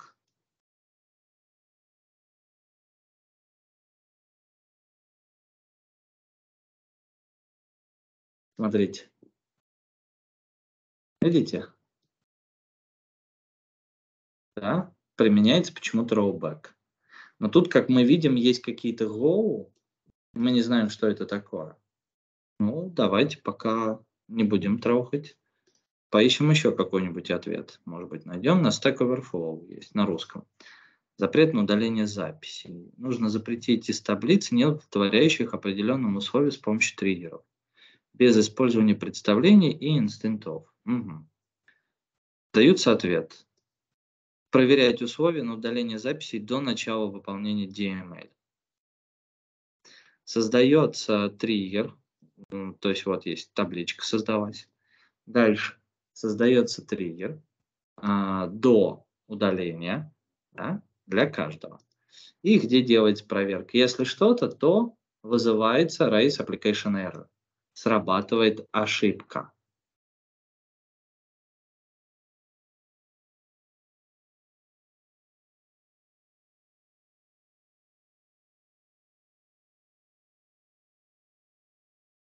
То есть, угу.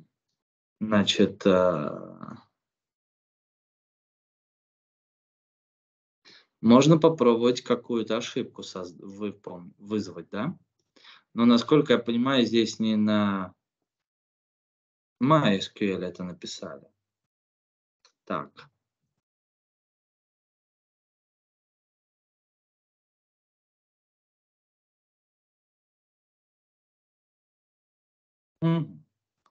Окей.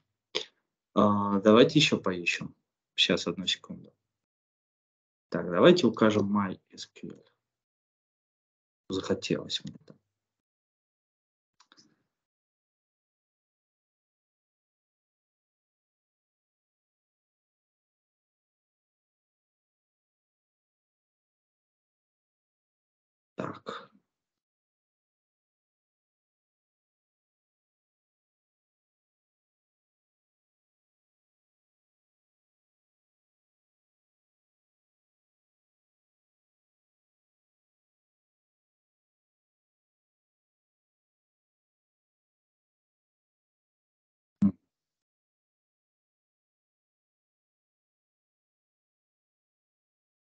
Сигнал. Сигнал SQL state. Вот этот вот сигнал SQL state позволит нам с вами вызвать исключение. Давайте проверим. Да? Почему бы нет вот здесь сделать проверку? Ну, сейчас попробуем. Как раз, какая разница, что мы там с хевингами и группами работали, что вот сейчас что-то добавим. Итак, сейчас я попробую добавить сюда триггер, который будет а, вызывать исключение при попытке удаления вообще любой записи. Ну, как вариант, да? Значит, create триггер. Uh, нужно название триггера, да? Триггер. Uh, как там запрет Дэнни, да? Дэнни delete. Дэнни. Дэнни. Delete. Дэнни delete. Дэнни. Ну, неважно. Дальше мы что должны указать, когда триггер создаем? Before delete, какой таблички и так далее. Да?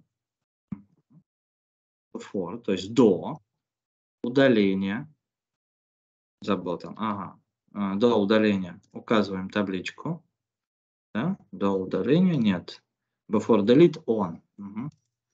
на чем, да, то есть на чем мы будем это делать, table, products, дальше указываем for each row, то есть для каждой строки, далее необходимо либо вызвать, э, ну, begin прописать, и потом end. Да, еще и разделитель здесь я забыл прописать. Делимитр. Скобочку, все нормально. Так, begin. Потом будет end. Все как полагается. Сейчас я сделаю выравнивание кода. Все, отлично, код выровнялся. Значит, и здесь мы будем проверять, э, не буду делать никаких, э, наверное, проверок, а просто выполню, как было предложено вот здесь, сигнал SQL state. Сигнал SQL state. И мы можем указать какой-то код ошибки. Давайте возьмем, не знаю, 90 раз, два, три. Да? 90 тысяч. И указать какой-то что-то указать, да, например, set Можно ничего не указывать, вот так сделать. Давайте выполним этот триггер, чтобы он привязался у нас с вами к табличке. Вроде как привязался. Теперь я попробую выполнить delete. Да даже без этой можно. Просто открою сейчас табличку Tab Products, выберу какое-нибудь поле и попробую его делитнуть. И буду отправлять этот запрос на delete. И смотрите, что мы с вами получаем. 90 тысяч. Видите? Мы получили с вами exception. И э, запрос не выполнился. Достаточно даже вот так сделать. Использовать э, выброс исключения. То есть из э, exception, ой, exception, простите, из триггера мы можем выбрасывать исключения.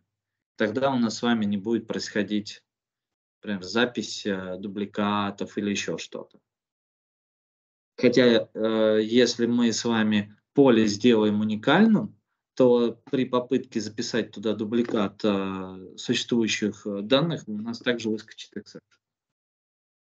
Поэтому либо сами прописываете это, либо просто ставите для какого-то поля свойство unique. Это если не хотите, чтобы были дубликаты записей. Если хотите запретить еще какие-то вещи по типу вот там удаления или еще что-то, то используйте для этих целей э, вот такую вещь. Signal. Дальше пишите SQL state, то есть состояние SQL. И в апострофах указываете код ошибки.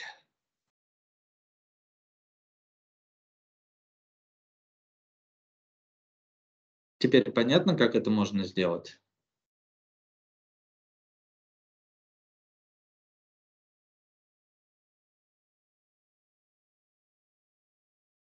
Ой, я думаю, что понятно. Ну, давайте тогда с вами посмотрим вообще про что такое сигнал в MySQL и что он умеет делать. Да? Разберем эту часть хотя бы. Как видите, углубление не всегда приводит к нужному нам а, результату, как кажется. Ну, ничего. Я думаю, разберемся.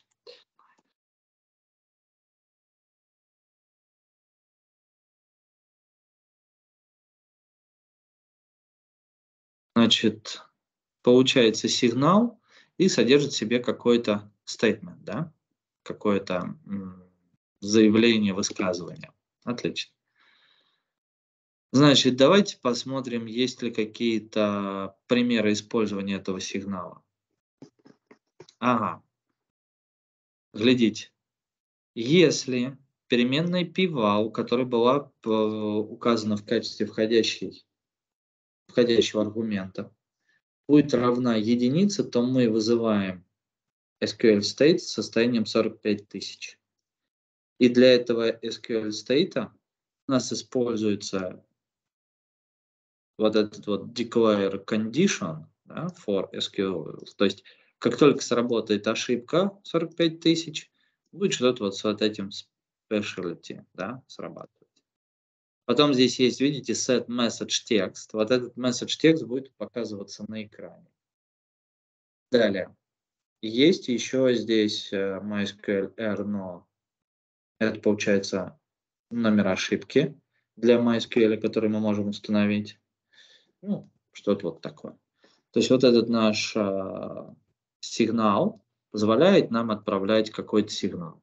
И мы можем дальше уже этот сигнал с вами как-то смотреть и так далее. Вот, например, триггер, да, before insert on t, то есть как только мы до добавления в табличку t, мы будем сразу сигналить SQL state, то есть без всяких там begin, эндов и так далее. Все в одну строку. То есть до инсерта будет происходить ошибка уже.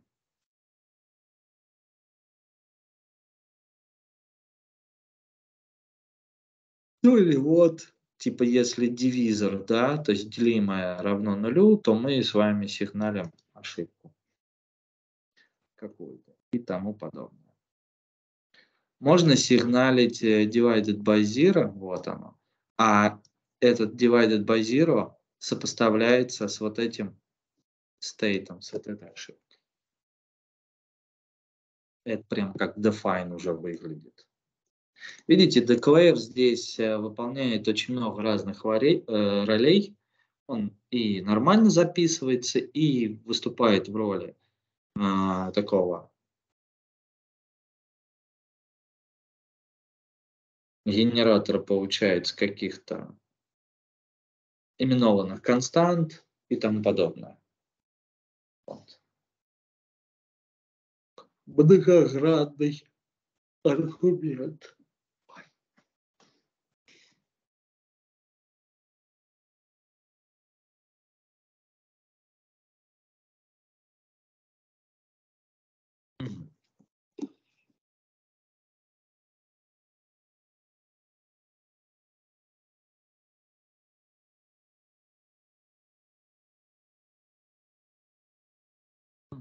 Почитаю потом. Давайте это тоже зафиксирую, чтобы мы с вами понимали, что сделали.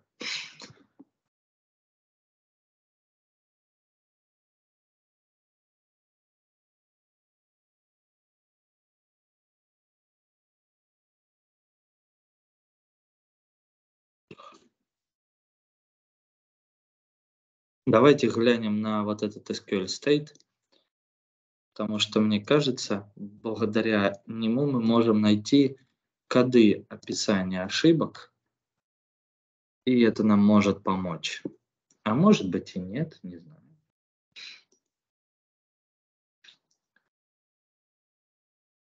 Ну, кстати, да, он вывел нас на MySQL э, state, судя по всему, PHP-шную. И здесь я не получу то, что мне нужно.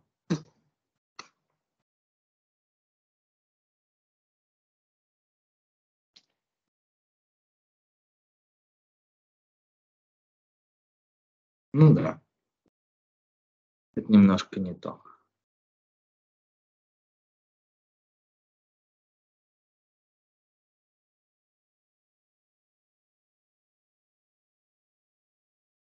Так, вопросы есть еще по, по тому, что мы с вами изучали в SQL?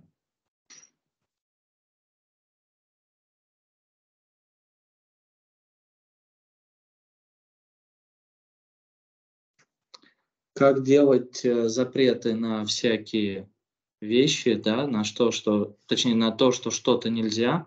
Вот мы с вами, опять же, сегодня поглядели. Не планировал, но глянули. Тоже хорошо.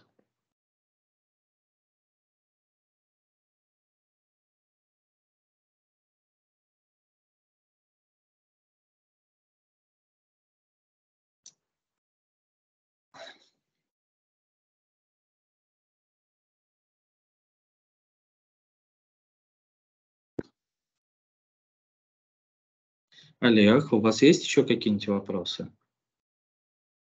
У меня нет. Угу. А у остальных?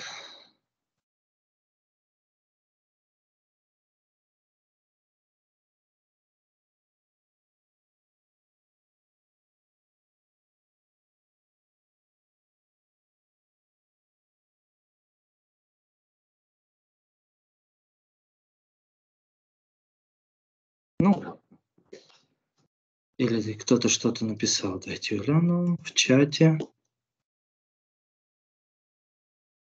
Триггеры только сложновато, остальное вроде норм. Ну, да, в принципе, так и есть. С триггерами может быть проблемы. Так, сколько у нас времени осталось? Полчаса.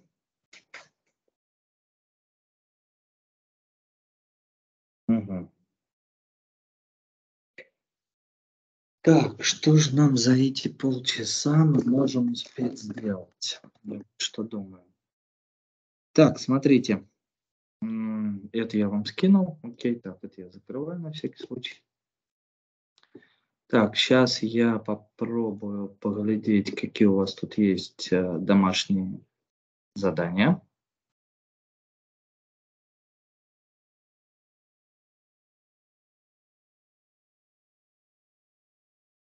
Сейчас прокрутится. Угу. Не скопировался. Прикольно. А, он даже не прогрузился. Ну, ждем, ждем.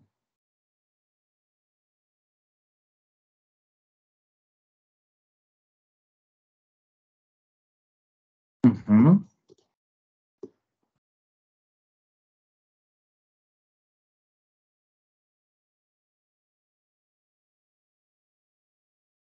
Ага, вот. Select.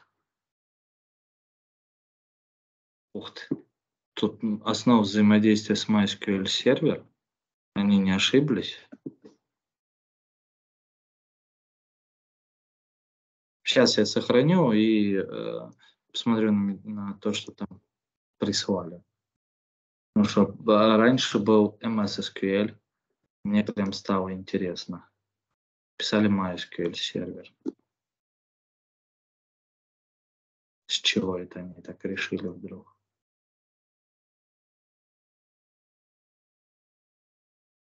Слушай, действительно, с MySQL сервер.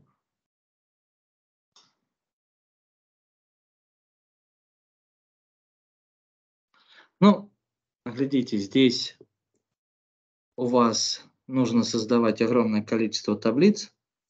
Вот тут э, по академии, да, делать необходимо создать базу данных.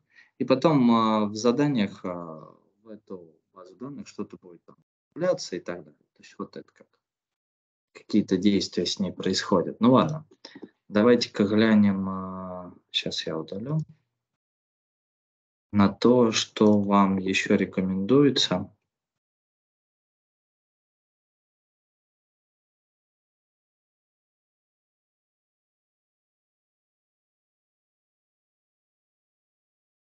Хм.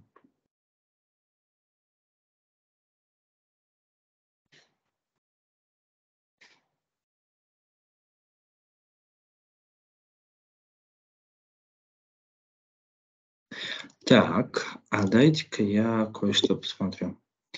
Тут пакеты. Сейчас один момент.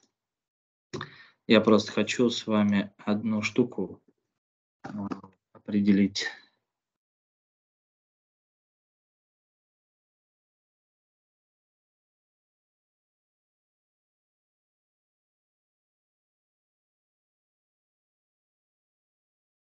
Сейчас.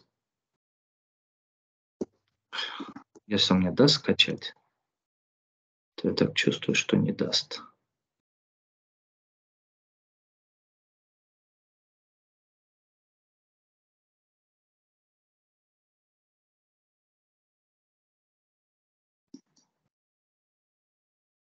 Э, в качестве выпускной работы по этому курсу, что будет э, вам предлагаться, я хочу посмотреть. Вот, чтобы вам рассказать, что, чтобы время у вас было, например, да, если вы что-то будете составлять. Ничего нет, обалдеть. Вот что это за система? Такая, что мне не показывает ни одно окошко. О, появилось, слава тебе Богу.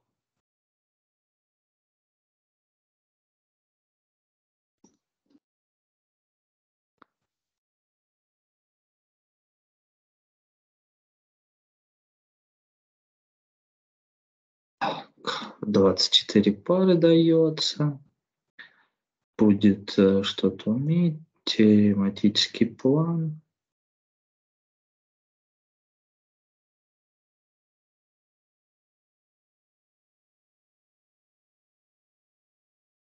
А тут, кстати, как видите, нет никакого экзамена. Тогда давайте глянем на...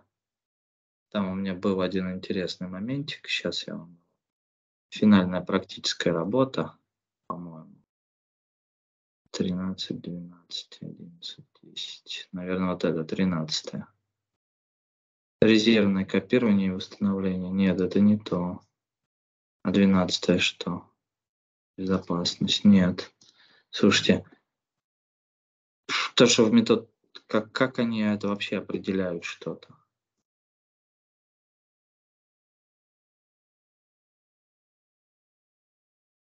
Вот, видите, финальное практическое задание по модулю. А, это по модулю, все, понял. Триггеры храневой процедуры политических функций.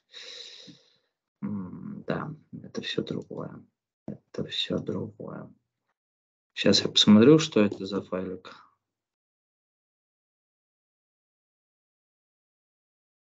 И потом подумаю, что вам вообще можно скидывать, чтобы вы это сделали. Так, функции вернуть информацию о Барбаре в барбершопе дольше всех. Все понятно. Все ясно. Короче, это надо первоначально видеть, какие там есть задания, потому что все построено на этом. Окей.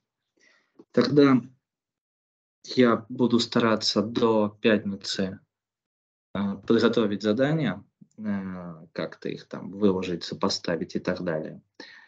Вот. Чтобы у вас э, ну, были выходные, скажем так. За выходные, чтобы вы могли что-то сделать. Сейчас я гляну, я хоть удалил или нет задание. Да, все, отлично удалил. Сейчас я сюда всякую гадость прикреплю, чтобы на меня потом не ругались, что я что-то не прикрепил. Так, теперь смотрите, что мы будем с вами делать дальше. А, сколько у нас? 20 минут. Ну, ок. Значит, глядите, а, вот, эту, вот это задание с спортивным магазином доделывайте. Кто не сделал, постарайтесь доделать, желательно до пятницы. В пятницу буду у вас проверять, какие сделаны триггеры, как сделаны и так далее. Ну, на занятии, соответственно, посмотрим с вами, поглядим, есть ли там какие-то ошибки э, в триггерах и как вы научились их писать. Так, теперь что делаем с вами далее? Далее я сейчас смотрю, сколько у нас э, по времени осталось на изучение да, теории баз данных. Так, на следующей неделе она самая. Дальше. Тоже оно. А вот через две недели у нас с вами начинается Adonet. Отлично. Значит, смотрите, как мы поступим. А, надеюсь, к пятнице у вас появятся еще какие-нибудь вопросы. И не только у Олега, но и у остальных. Нам их нужно будет разобрать. Раз. Второе у нас теперь есть возможность с вами познакомиться с другим типом баз данных, которые не реляционные, а другие. И, например, мы можем с вами познакомиться с документоориентированной базой данных. И посмотреть, в чем там есть разница и в чем там есть сходство этих двух типов баз данных, реляционные и документоориентированные. Скажу сразу, разница там притянутая за уши, скажем так. Ну, как по мне, притянутая за уши. Вот. Так же, как и, ну, а сходство гораздо больше, чем кажется. Но опять же, это лично мое мнение. А, для чего нам нужно вот э, посмотреть еще один тип а, баз данных? Да просто хотя бы поглядеть, как это вообще работает. И останется нам а, после этого сделать какой-то а, сделать какую-то базу данных, с которой мы будем а, в дальнейшем работать какой-то промежуток времени, когда будем изучать а, технологию ADA.NET. Потому что нам надо ну, чтобы она у нас была заранее, да, продумать ее и так далее. Вот как-то так. Можем, кстати, использовать этот же ваш спортивный магазин, выбрать чью-то реализацию и ее применять. Вот. Можем придумать какую-то новую базу данных. Все равно. Так, а сейчас у нас будет с вами немного теории, чтобы, ну, скажем так, вы были в курсе, какие еще есть типы баз данных. А то вот я вам все про реляционную, реляционную, про нормализацию рассказывал, а про другие типы даже не зыкнулся. Ну, давайте, наверное, вот так сделаем. Database. Ну, вот так. Не, не так. Ладно. Делаем вот так. Типы баз данных.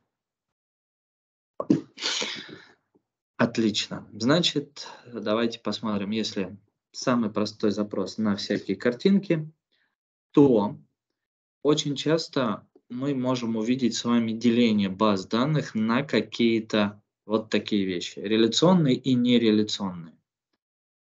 И вы увидите там иерархическая и сетевая. Один элемент записи главный, остальные подчиненные. Там всякая файловая система. Это иерархическая база данных по сути. А, те, кто работал с Windows, знаете там такую штуку, как... А, блин, забыл. Когда домен а, LDAP это в Windows, LDAP, ой, это в Linux, Ди, эм, о, крыша едет, прикольно. Я забыл аналог LDAP в Windows. Никто не помнит.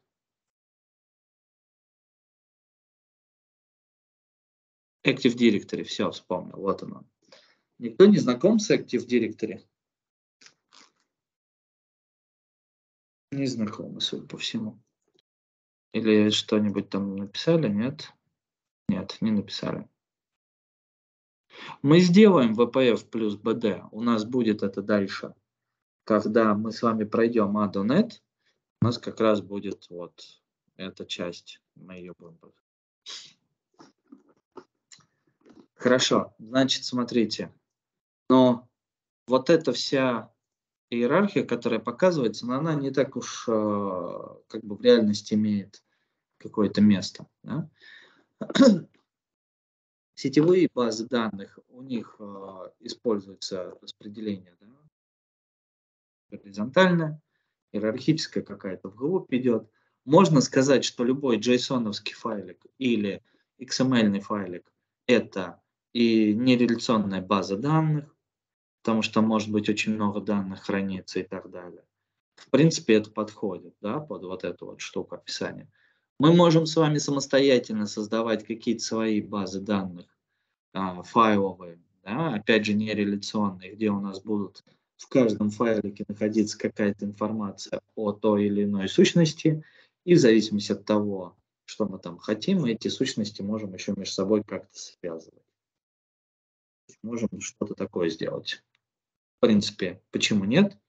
А, вариации создания а, такой иерархической или просто файловой базы данных на основе JSON вполне можем с вами сделать. Сейчас, одну секунду.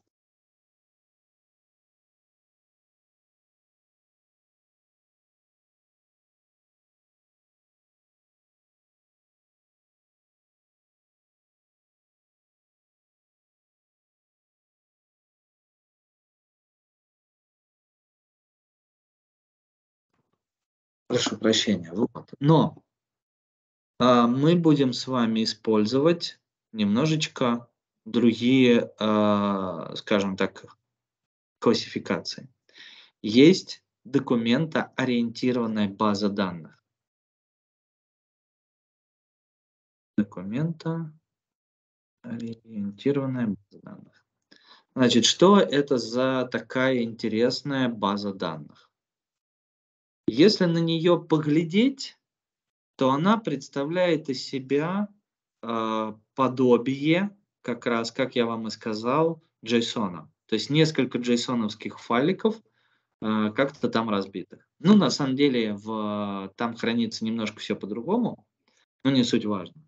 Значит, есть база данных, где есть коллекции, в каждой коллекции есть документы. И документы представляют из себя не что иное, как пары ключ значения. Ничего не напоминает вам документ этот? Dictionary в C-Sharp, да, словарь. И представьте себе, что вы словари объединяете в коллекции. И вот, пожалуйста, у вас уже готовая база данных.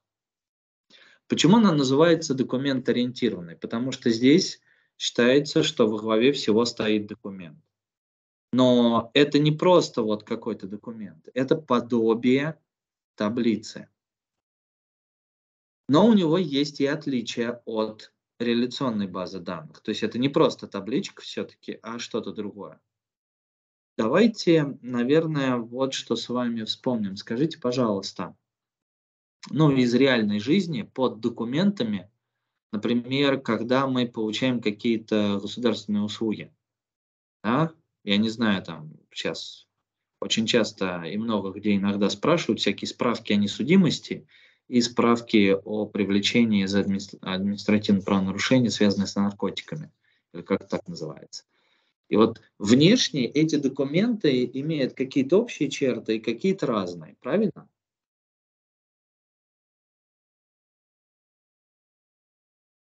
Ну да. И мы можем с вами создавать документы, где не обязательно строгое следование или строгое соответствие количеству ключей значений.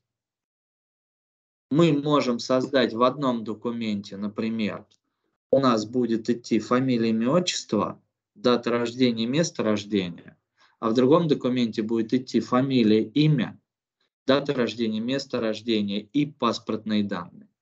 Третьем документе будет идти фамилия, имя, отчество, дата рождения, место рождения и данные свидетельства о рождении.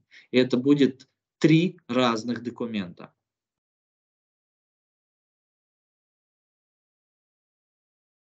И вот здесь как раз идет принцип хранения вот э, в документах, вот в этих парах ключ значения. И уже эти документы э, могут объединяться в коллекции. То есть у нас в документе какие-то поля могут отсутствовать или какие-то поля могут появляться. Нету строгой схемы, да, как в реляционной базе данных.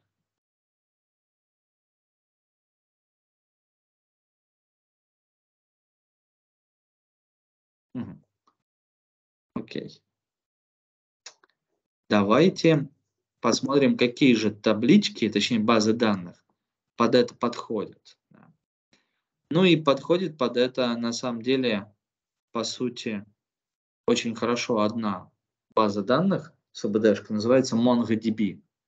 Кто-нибудь слышал о ней?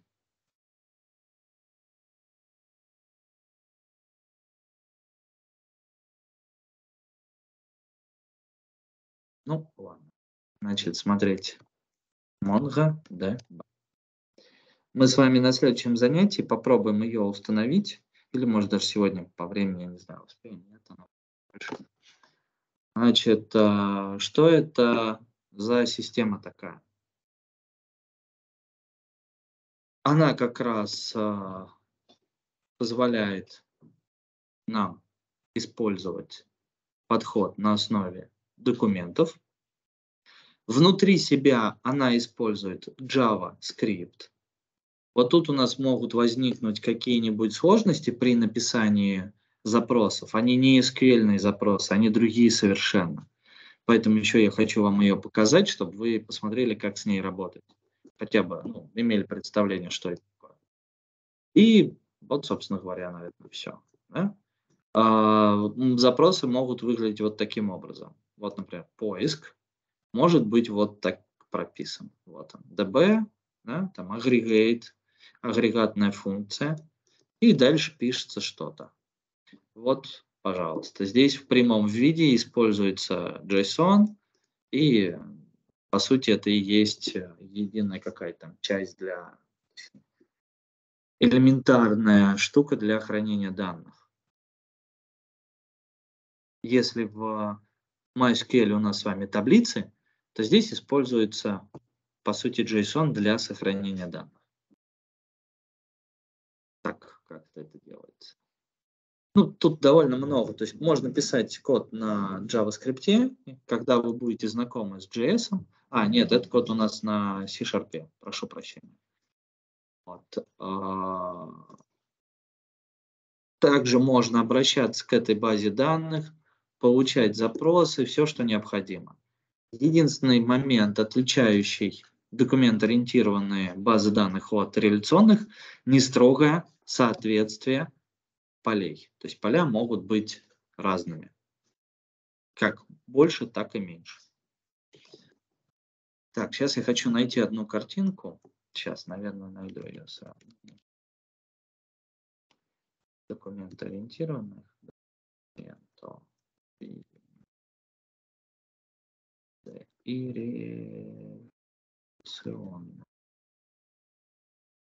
Так, на картинках. Там прям мне попадалась очень хорошая картинка. Нет, нету.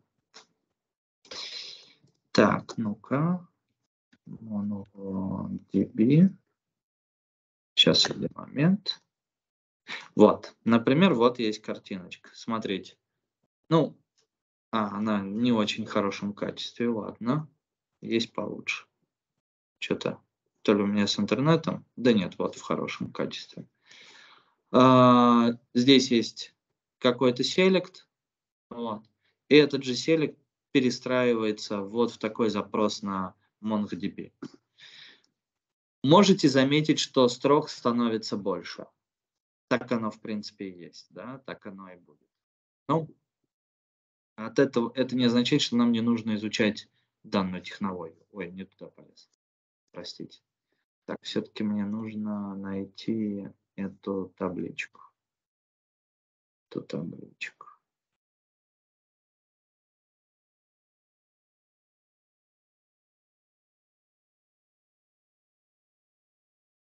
Вот она. Значит, смотрите, э, что из себя представляет. Ну, база данных в SQL в, в любой реляционной и документ-ориентированной одно и то же. А вот таблицы представляют из себя коллекции. А каждая строчка – это отдельный документ. Вот как можно сопоставлять реляционные базы данных и документ-ориентированные. Что они себя представляют. То есть каждая строка – это отдельная, отдельный документ. И единственный, еще раз повторюсь, плюс, что в документе могут быть поля, какие-то новые и какие-то отсутствовать. В строке такого быть не может. Мы должны четко следовать. Вот, собственно говоря, как. Далее, чтобы установить на MongoDB на комп, нам нужно будет использовать, вот я теперь уже и не помню, потому что она поменялась, а я в нее не лазил давным-давно. Вот, есть Community Edition, вот он. А, я вам ссылки пришлю. И нам нужен будет э, MongoDB Community сервер. Причем а, этот community сервер, ну-ка разворачивайся, да? здесь есть версии вот 6.0.1 и так далее. Там всякие релизы, да? пакет. Угу. Необходимо будет выбрать текущую версию. Ну, тут нету никаких версий, всяких LTS и тому подобных, поэтому выбираем текущую. Вот она есть. И скачать это себе на ком. Вот я сейчас скачиваю. Ага, куда-то сохраняю, да, я в дистриб себе запускаю.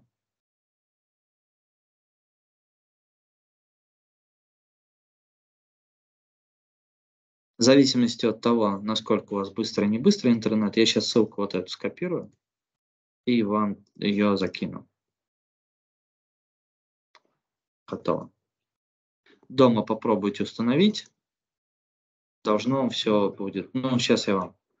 Сейчас как закачается, я запущу у себя установку. Покажу, какие там нужно нажимать вещи.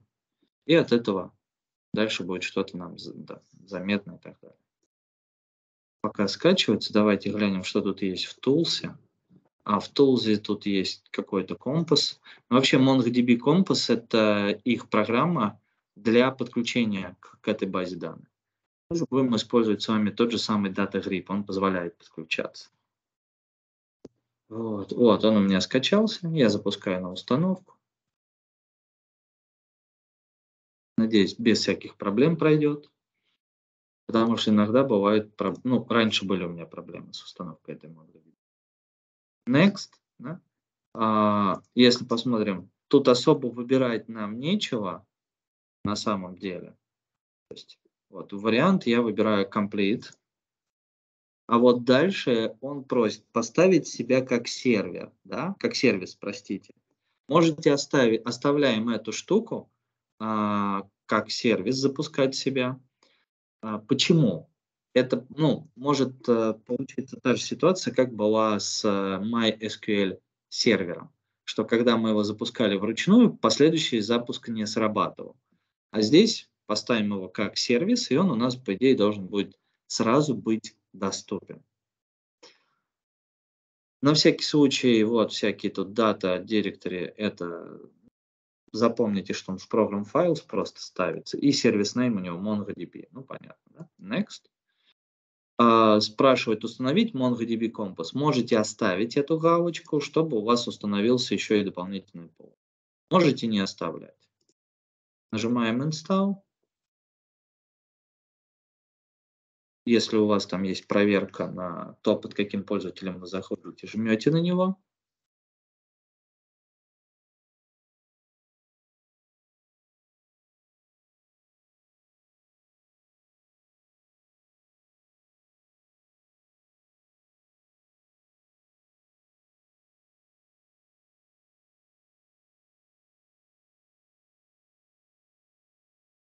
Сейчас.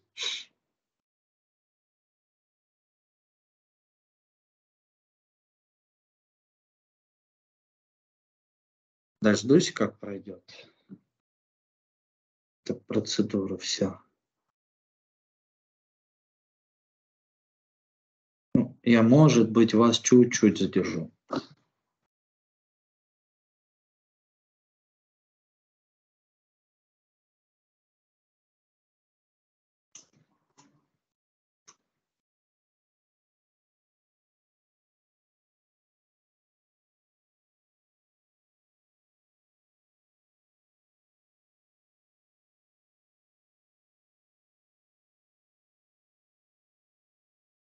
Так, ничего у меня тут не появилось. Да нет, все, все нормально. Все так же он ставится.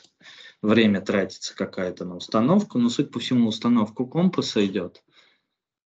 Ну, сейчас посмотрим. Подождем еще чуть-чуть, пока еще у нас время терпит.